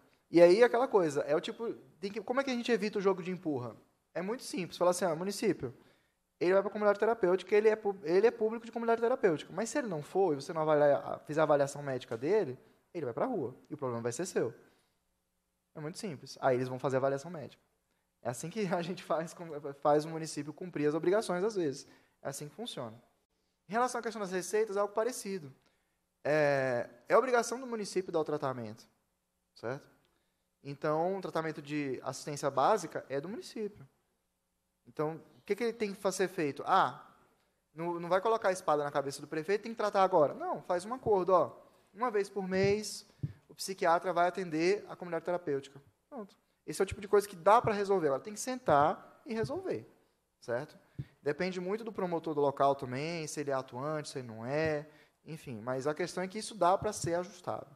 Tá? Em relação à questão da doação, isso tem previsão legal também, como a Cláudia falou aqui, está no artigo 63C, e aí diz, compete à Senad, ao, do Ministério da Justiça e Segurança Pública, proceder à destinação dos bens apreendidos e não leiloados em caráter cautelar, cujo perdimento seja decretado em favor da União, por meio das seguintes modalidades. Aí tem o B, isso é um inciso 1B, que fala de alienação, aí, doação com encargo a entidades ou órgãos públicos, bem como a comunidades terapêuticas acolhedoras que contribuam para o alcance das finalidades do FUNAD. Então, isso tem que ser ajustado, como a Cláudia disse, com a União. Então, o objetivo aqui, no caso, acho que a Cláudia já está com isso encaminhado, é de pressionar a União para que essa portaria seja agilizada o mais rápido possível, para que possa voltar a funcionar, porque é algo realmente muito útil. Né? Você tira de quem, como a Cláudia falou, tira de quem está usando de forma ilícita e dá para quem está ajudando. Então, é isso. Mas, assim, isso é uma responsabilidade da União de estabelecer essa portaria. E caso haja inércia, procura o Ministério Público, nesse caso, também procura o estadual e o federal para poder fazer essa pressão. Porque, como é a União, tem que ser o federal. Tá bom? Obrigada aí pela fala, doutor Rafael Moreno. Então, gente, é, houve na, durante essa audiência, não sei quem foi que perguntou sobre a questão do censo aí dos usuários, né, que estão em situação de rua aqui em Belo Horizonte. Aí eu até pedi o, um assessor aqui para estar tá fazendo um requerimento, né, junto, pedindo aí à prefeitura. Mas ele me, me traz aqui que hoje em BH tem 5.344 pessoas em situação de rua. Levantamento foi feito entre 18 e 19 de outubro de 2022, realizado pela Prefeitura junto ao FMG. Eu quero aqui parabenizar o FMG, que nesses últimos tempos tem aí realmente, realmente sensibilizado pela causa. E hoje nós estamos aqui, gente, é, nós, desde onde que nós pesquisamos, a questão da frente parlamentar. Ah, tá. Tem um outro requerimento aqui, deixa aí. Aqui. Sim, gente, estou propondo aqui hoje, nosso gabinete, a frente parlamentar em defesa das comunidades terapêuticas, tá bom? É. Fruto Fruto dessa audiência pública, nós vamos escolher a assinatura da nossa deputada vice, a presidente da comissão, e também de todos os deputados. E essa audiência pública, gente, ela surgiu realmente de, um, de uma grande necessidade, viu, o Cláudio, o promotor, Rafael, porque, sim, eu tenho uma história de superação. Eu sou fruto do social e da fé. For a fundo conhecer a minha história, vocês não vão acreditar como nós chegamos aqui por ter sido fruto do social e da fé, por ter sido alcançada, né? É, nós tomamos isso como uma missão de vida, uma missão de estar tá, é, levando essa mensagem de ajuda, de libertação, salvação, que é o caso missionário. Me tornei vereadora é, com três mandatos na minha cidade de Paracatu, que eu vim do noroeste de Minas, né? Graças a Deus fui a vereadora mais votada e atuei muito e continuo atuando. Então, abracei essa causa, uma das minhas principais, que eu trabalhei com os moradores de rua, com, com projetos sociais, com crianças, dentro de presídio, dentro das APACs. É, e hoje nós temos um projeto chamado Projeto Reviver, nós, os representantes na qual eu sou voluntária dessa, dessa entidade, que é o SOS Reviver, Projeto Reviver, é, que trabalha na questão da do acolhimento, da triagem, da prevenção, é, também da abordagem, né? Participei inúmeras vezes, porque quando você sente isso como uma missão de vida, você arrisca a sua vida, né? Coisa que eu, às vezes, não aconselho muito fazer. Mas muitas madrugadas eu fui fazer uma, como é que fala, um acolhimento, levar pessoas até pedir de familiares, me pedindo ajuda, socorro. E fiquei, durante muitos anos, ajudando comunidades, é, através de. É, buscando ajudas, é, recursos para ajudar essas entidades, porque eu recebia de 8 a 10 pedidos. As pessoas chegavam em mim me pedindo: eu quero viver Me ajuda, eu tô, não dou conta mais, eu preciso de ajuda. Então, assim, durante tem muitos anos, né? Isso tem mais de 30 anos que nós estamos atuando nessa área. E hoje a gente, como voluntário nessa comunidade lá, e o que a gente conversa com todos eles, hoje está aqui a equipe, parte da equipe aqui, técnico de enfermagem, assistente social, motorista, todo mundo aqui, para ouvir. Assim como outras comunidades é, já me procuraram, assim que eu cheguei a esta casa, já estão atrás, muitas entidades, me procuraram trazendo demandas. E, e, e eu, o mais importante, porque estão assim, com medo dessas comunidades serem fechadas. Ou, exemplo, como está acontecendo em algumas, algumas cidades, né, algumas regiões, mas o que a gente coloca para todas elas é que tem que ter fiscalização. Né? O Ministério Público, o Estado, enfim, todas as instituições são importantes para que também tenham um bom resultado. Não é simplesmente pegar uma pessoa doente, muito muito, né, é, é, é, vamos falar, muito mal, coloca numa comunidade de qualquer jeito. Não é assim. Às vezes as pessoas perguntam, ah, mas atende aí meu filho, ele está querendo agora. Eu falei, não existe o querer agora. O querer agora, como disse lá o vereador, o querer agora você coloca uma pessoa que vai complicar as outras pessoas lá dentro, né, transmitir uma, uma doença ou um problema maior. Então, existem critérios né, que eu sei que tem que ser seguido. Então, o que a gente traz hoje nessa audiência, que é a primeira audiência, né, quando é, eu estive com o governador Romeu Zema, eu quero aqui até agradecer ele, porque ele me ouviu antes de ser eleita. Ele falou: olha, eu gostaria muito de colaborar com o Estado na questão social e antidrogas. E a Cláudia sabe disso, que eu já estive com ela. Então, assim, eu quero colaborar com o Estado, eu quero colaborar com a, a Justiça, porque nós somos parceiros, né? a gente tem ajudado em todas as áreas representado a todas as áreas. Então, assim, eu quero aqui hoje deixar essa fala como um pedido, porque eu sei como o promotor, doutor Rafael, falou que tem coisas que não tem como. Né? Fez uma fiscalização, notificou ali, tem coisas que não tem como dar jeitinho. Há coisas que tem como, como eu disse aqui, a gente quer assim, que dá para essas comunidades oportunidade delas se regulamentarem. Que há coisas que elas não vão dar conta de regulamentar do dia para o outro prazo, essas que estão fazendo um trabalho sério né, de acolhimento, esse prazo. Então, assim, a nossa fala de hoje, esse pedido de hoje, é em cima disso aí, doutor Rafael. Pela sua fala, a gente viu que você é uma pessoa que tem uma sensibilidade também pela causa. Questão de vida, né, gente? Eu já vi muita gente morrendo. Eu já tentei ajudar muita gente que, infelizmente, não consegui, que morreram. Então, assim, é um clamor muito grande, porque a gente sabe que, infelizmente, cresceu muito, muito mesmo, que é algo que o Estado precisa avançar é na questão da prevenção. Existem instituições sérias, como o PROERD, que faz um, um belíssimo trabalho, mas também precisamos é, ver o que, que possamos fazer é para alcançar as crianças e os adolescentes, que enquanto você está recuperando pessoa, tentando recuperar, existe uma fila de crianças e adolescentes indo para as drogas. Então, está virando um caos. Então, acho assim que é hora de, junto a, a, várias instituições, como eu estive com a UFMG, propondo, propondo isto e colocando meu gabinete à exposição, porque não é também chegar, como a Cláudia falou, chegar numa escola e dar uma palestra ali sobre questão das drogas. Você pode causar o problema, se às vezes não existia o problema, você pode causar um problema, despertar a curiosidade da criança antes da hora. Então, realmente é algo que nós precisamos sentar, todas as partes, estudar, porque eu acredito que o nosso Estado de Minas Gerais, como a, a, a nossa deputada falou, do de, delegada Sheila, né, nosso Estado ainda está ainda sob controle. Né? Então, acredito que nós podemos avançar muito mais. E eu coloco meu gabinete à disposição, doutor Rafael, coloco, viu, a Cláudia aqui, nossa superintendente, também deputada Sheila, obrigada. E é isso aí, eu não sei se vocês querem fazer alguma consideração final, e são esses os meus pedidos. Eu só quero, mais uma vez, agradecer é, a Comissão de Prevenção e Combate ao Crack e Outras Drogas né, pela oportunidade da gente apresentar aqui hoje as ações que o governo de Minas vem fazendo. Temos muito a avançar. Né? Eu sempre falo que o problema de álcool, e de álcool e outras drogas é um problema complexo. Né? E para problemas complexos, nós não temos soluções fáceis.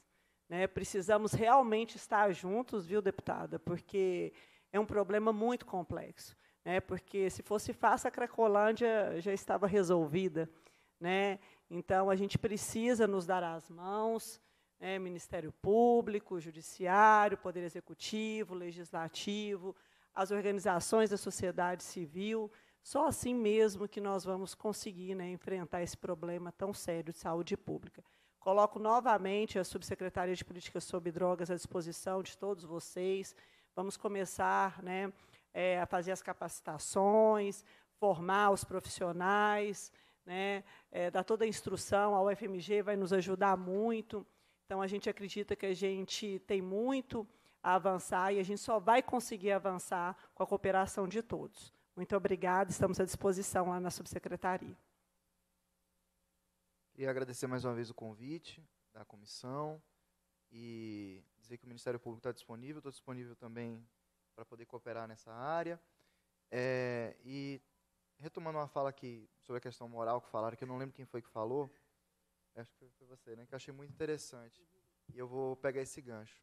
Nós, como agentes do Estado, não cabe a nós fazer o julgamento sobre a vida das pessoas, se é a escolha certa, a escolha errada. É, além de ser é, errado do ponto de vista estatal, nós temos que agir de forma técnica, é absolutamente contraproducente. A gente não vai chegar a lugar nenhum fazendo esse julgamento. A gente tem que saber, existe um problema de saúde pública que impacta na criminalidade e que precisa ser resolvido, certo? Se a pessoa ela poderia ter agido de outra forma, isso não nos cabe fazer essa análise.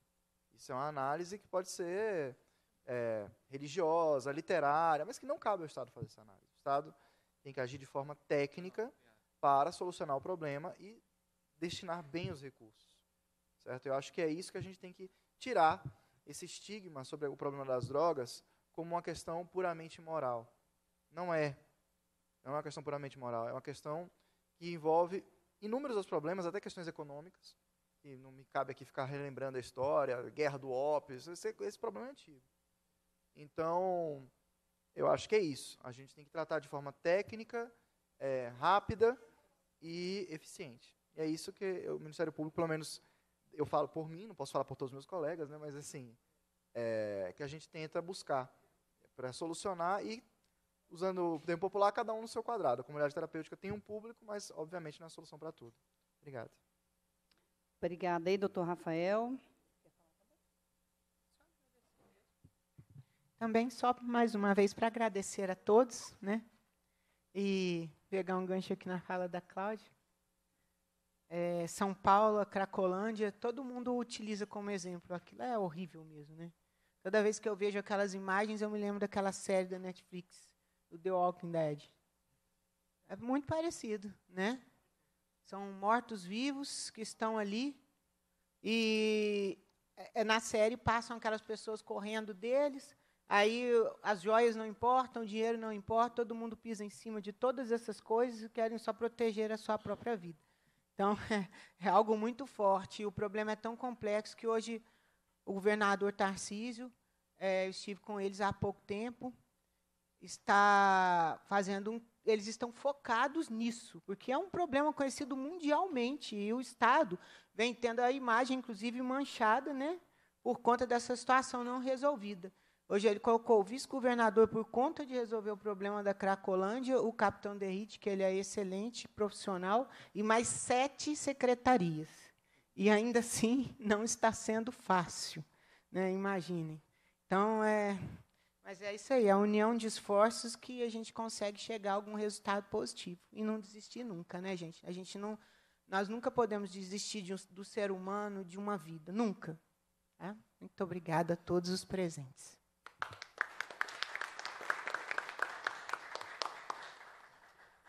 Então, as considerações finais, já até começou, né? A presidência indaga os convidados, convidados parlamentares, se desejarem, uso da palavra para as suas considerações finais.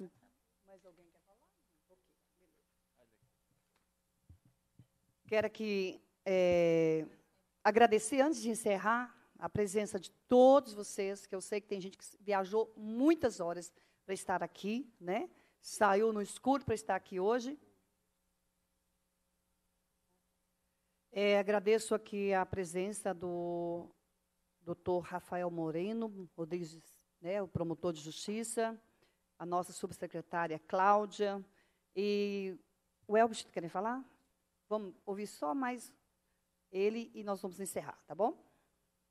Bom, eu agradecer novamente a oportunidade e só trazer uma fala, doutor Rafael, Cláudia, né, as deputadas aqui, é que eu agora, como representante de uma instituição, eu agradeço todas as vezes que eu tenho uma fiscalização, porque ela nos norteia, nos corrige algumas falhas, melhora a qualidade do serviço ofertado, mas muitas das vezes essas fiscalizações vêm com teor ideológico e às vezes punitivo. Não às vezes uma correção, uma orientação.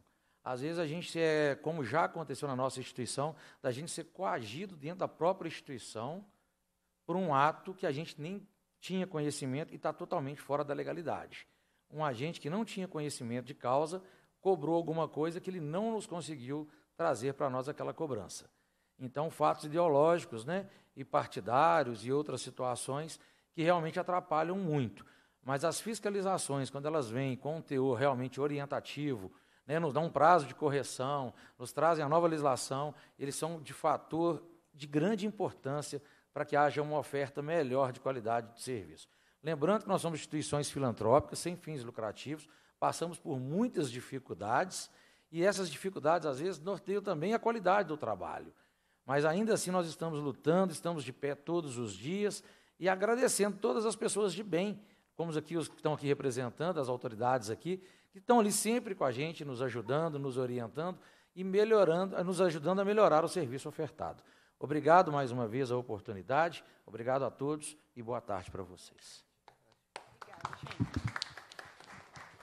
Cumprida a finalidade da reunião, a presidência agradece a presença dos parlamentares, dos convidados e do público presente. Convoca os membros para a próxima reunião ordinária, determina a lavratura da ata e encerra os trabalhos. Um forte abraço a todos e muito obrigada.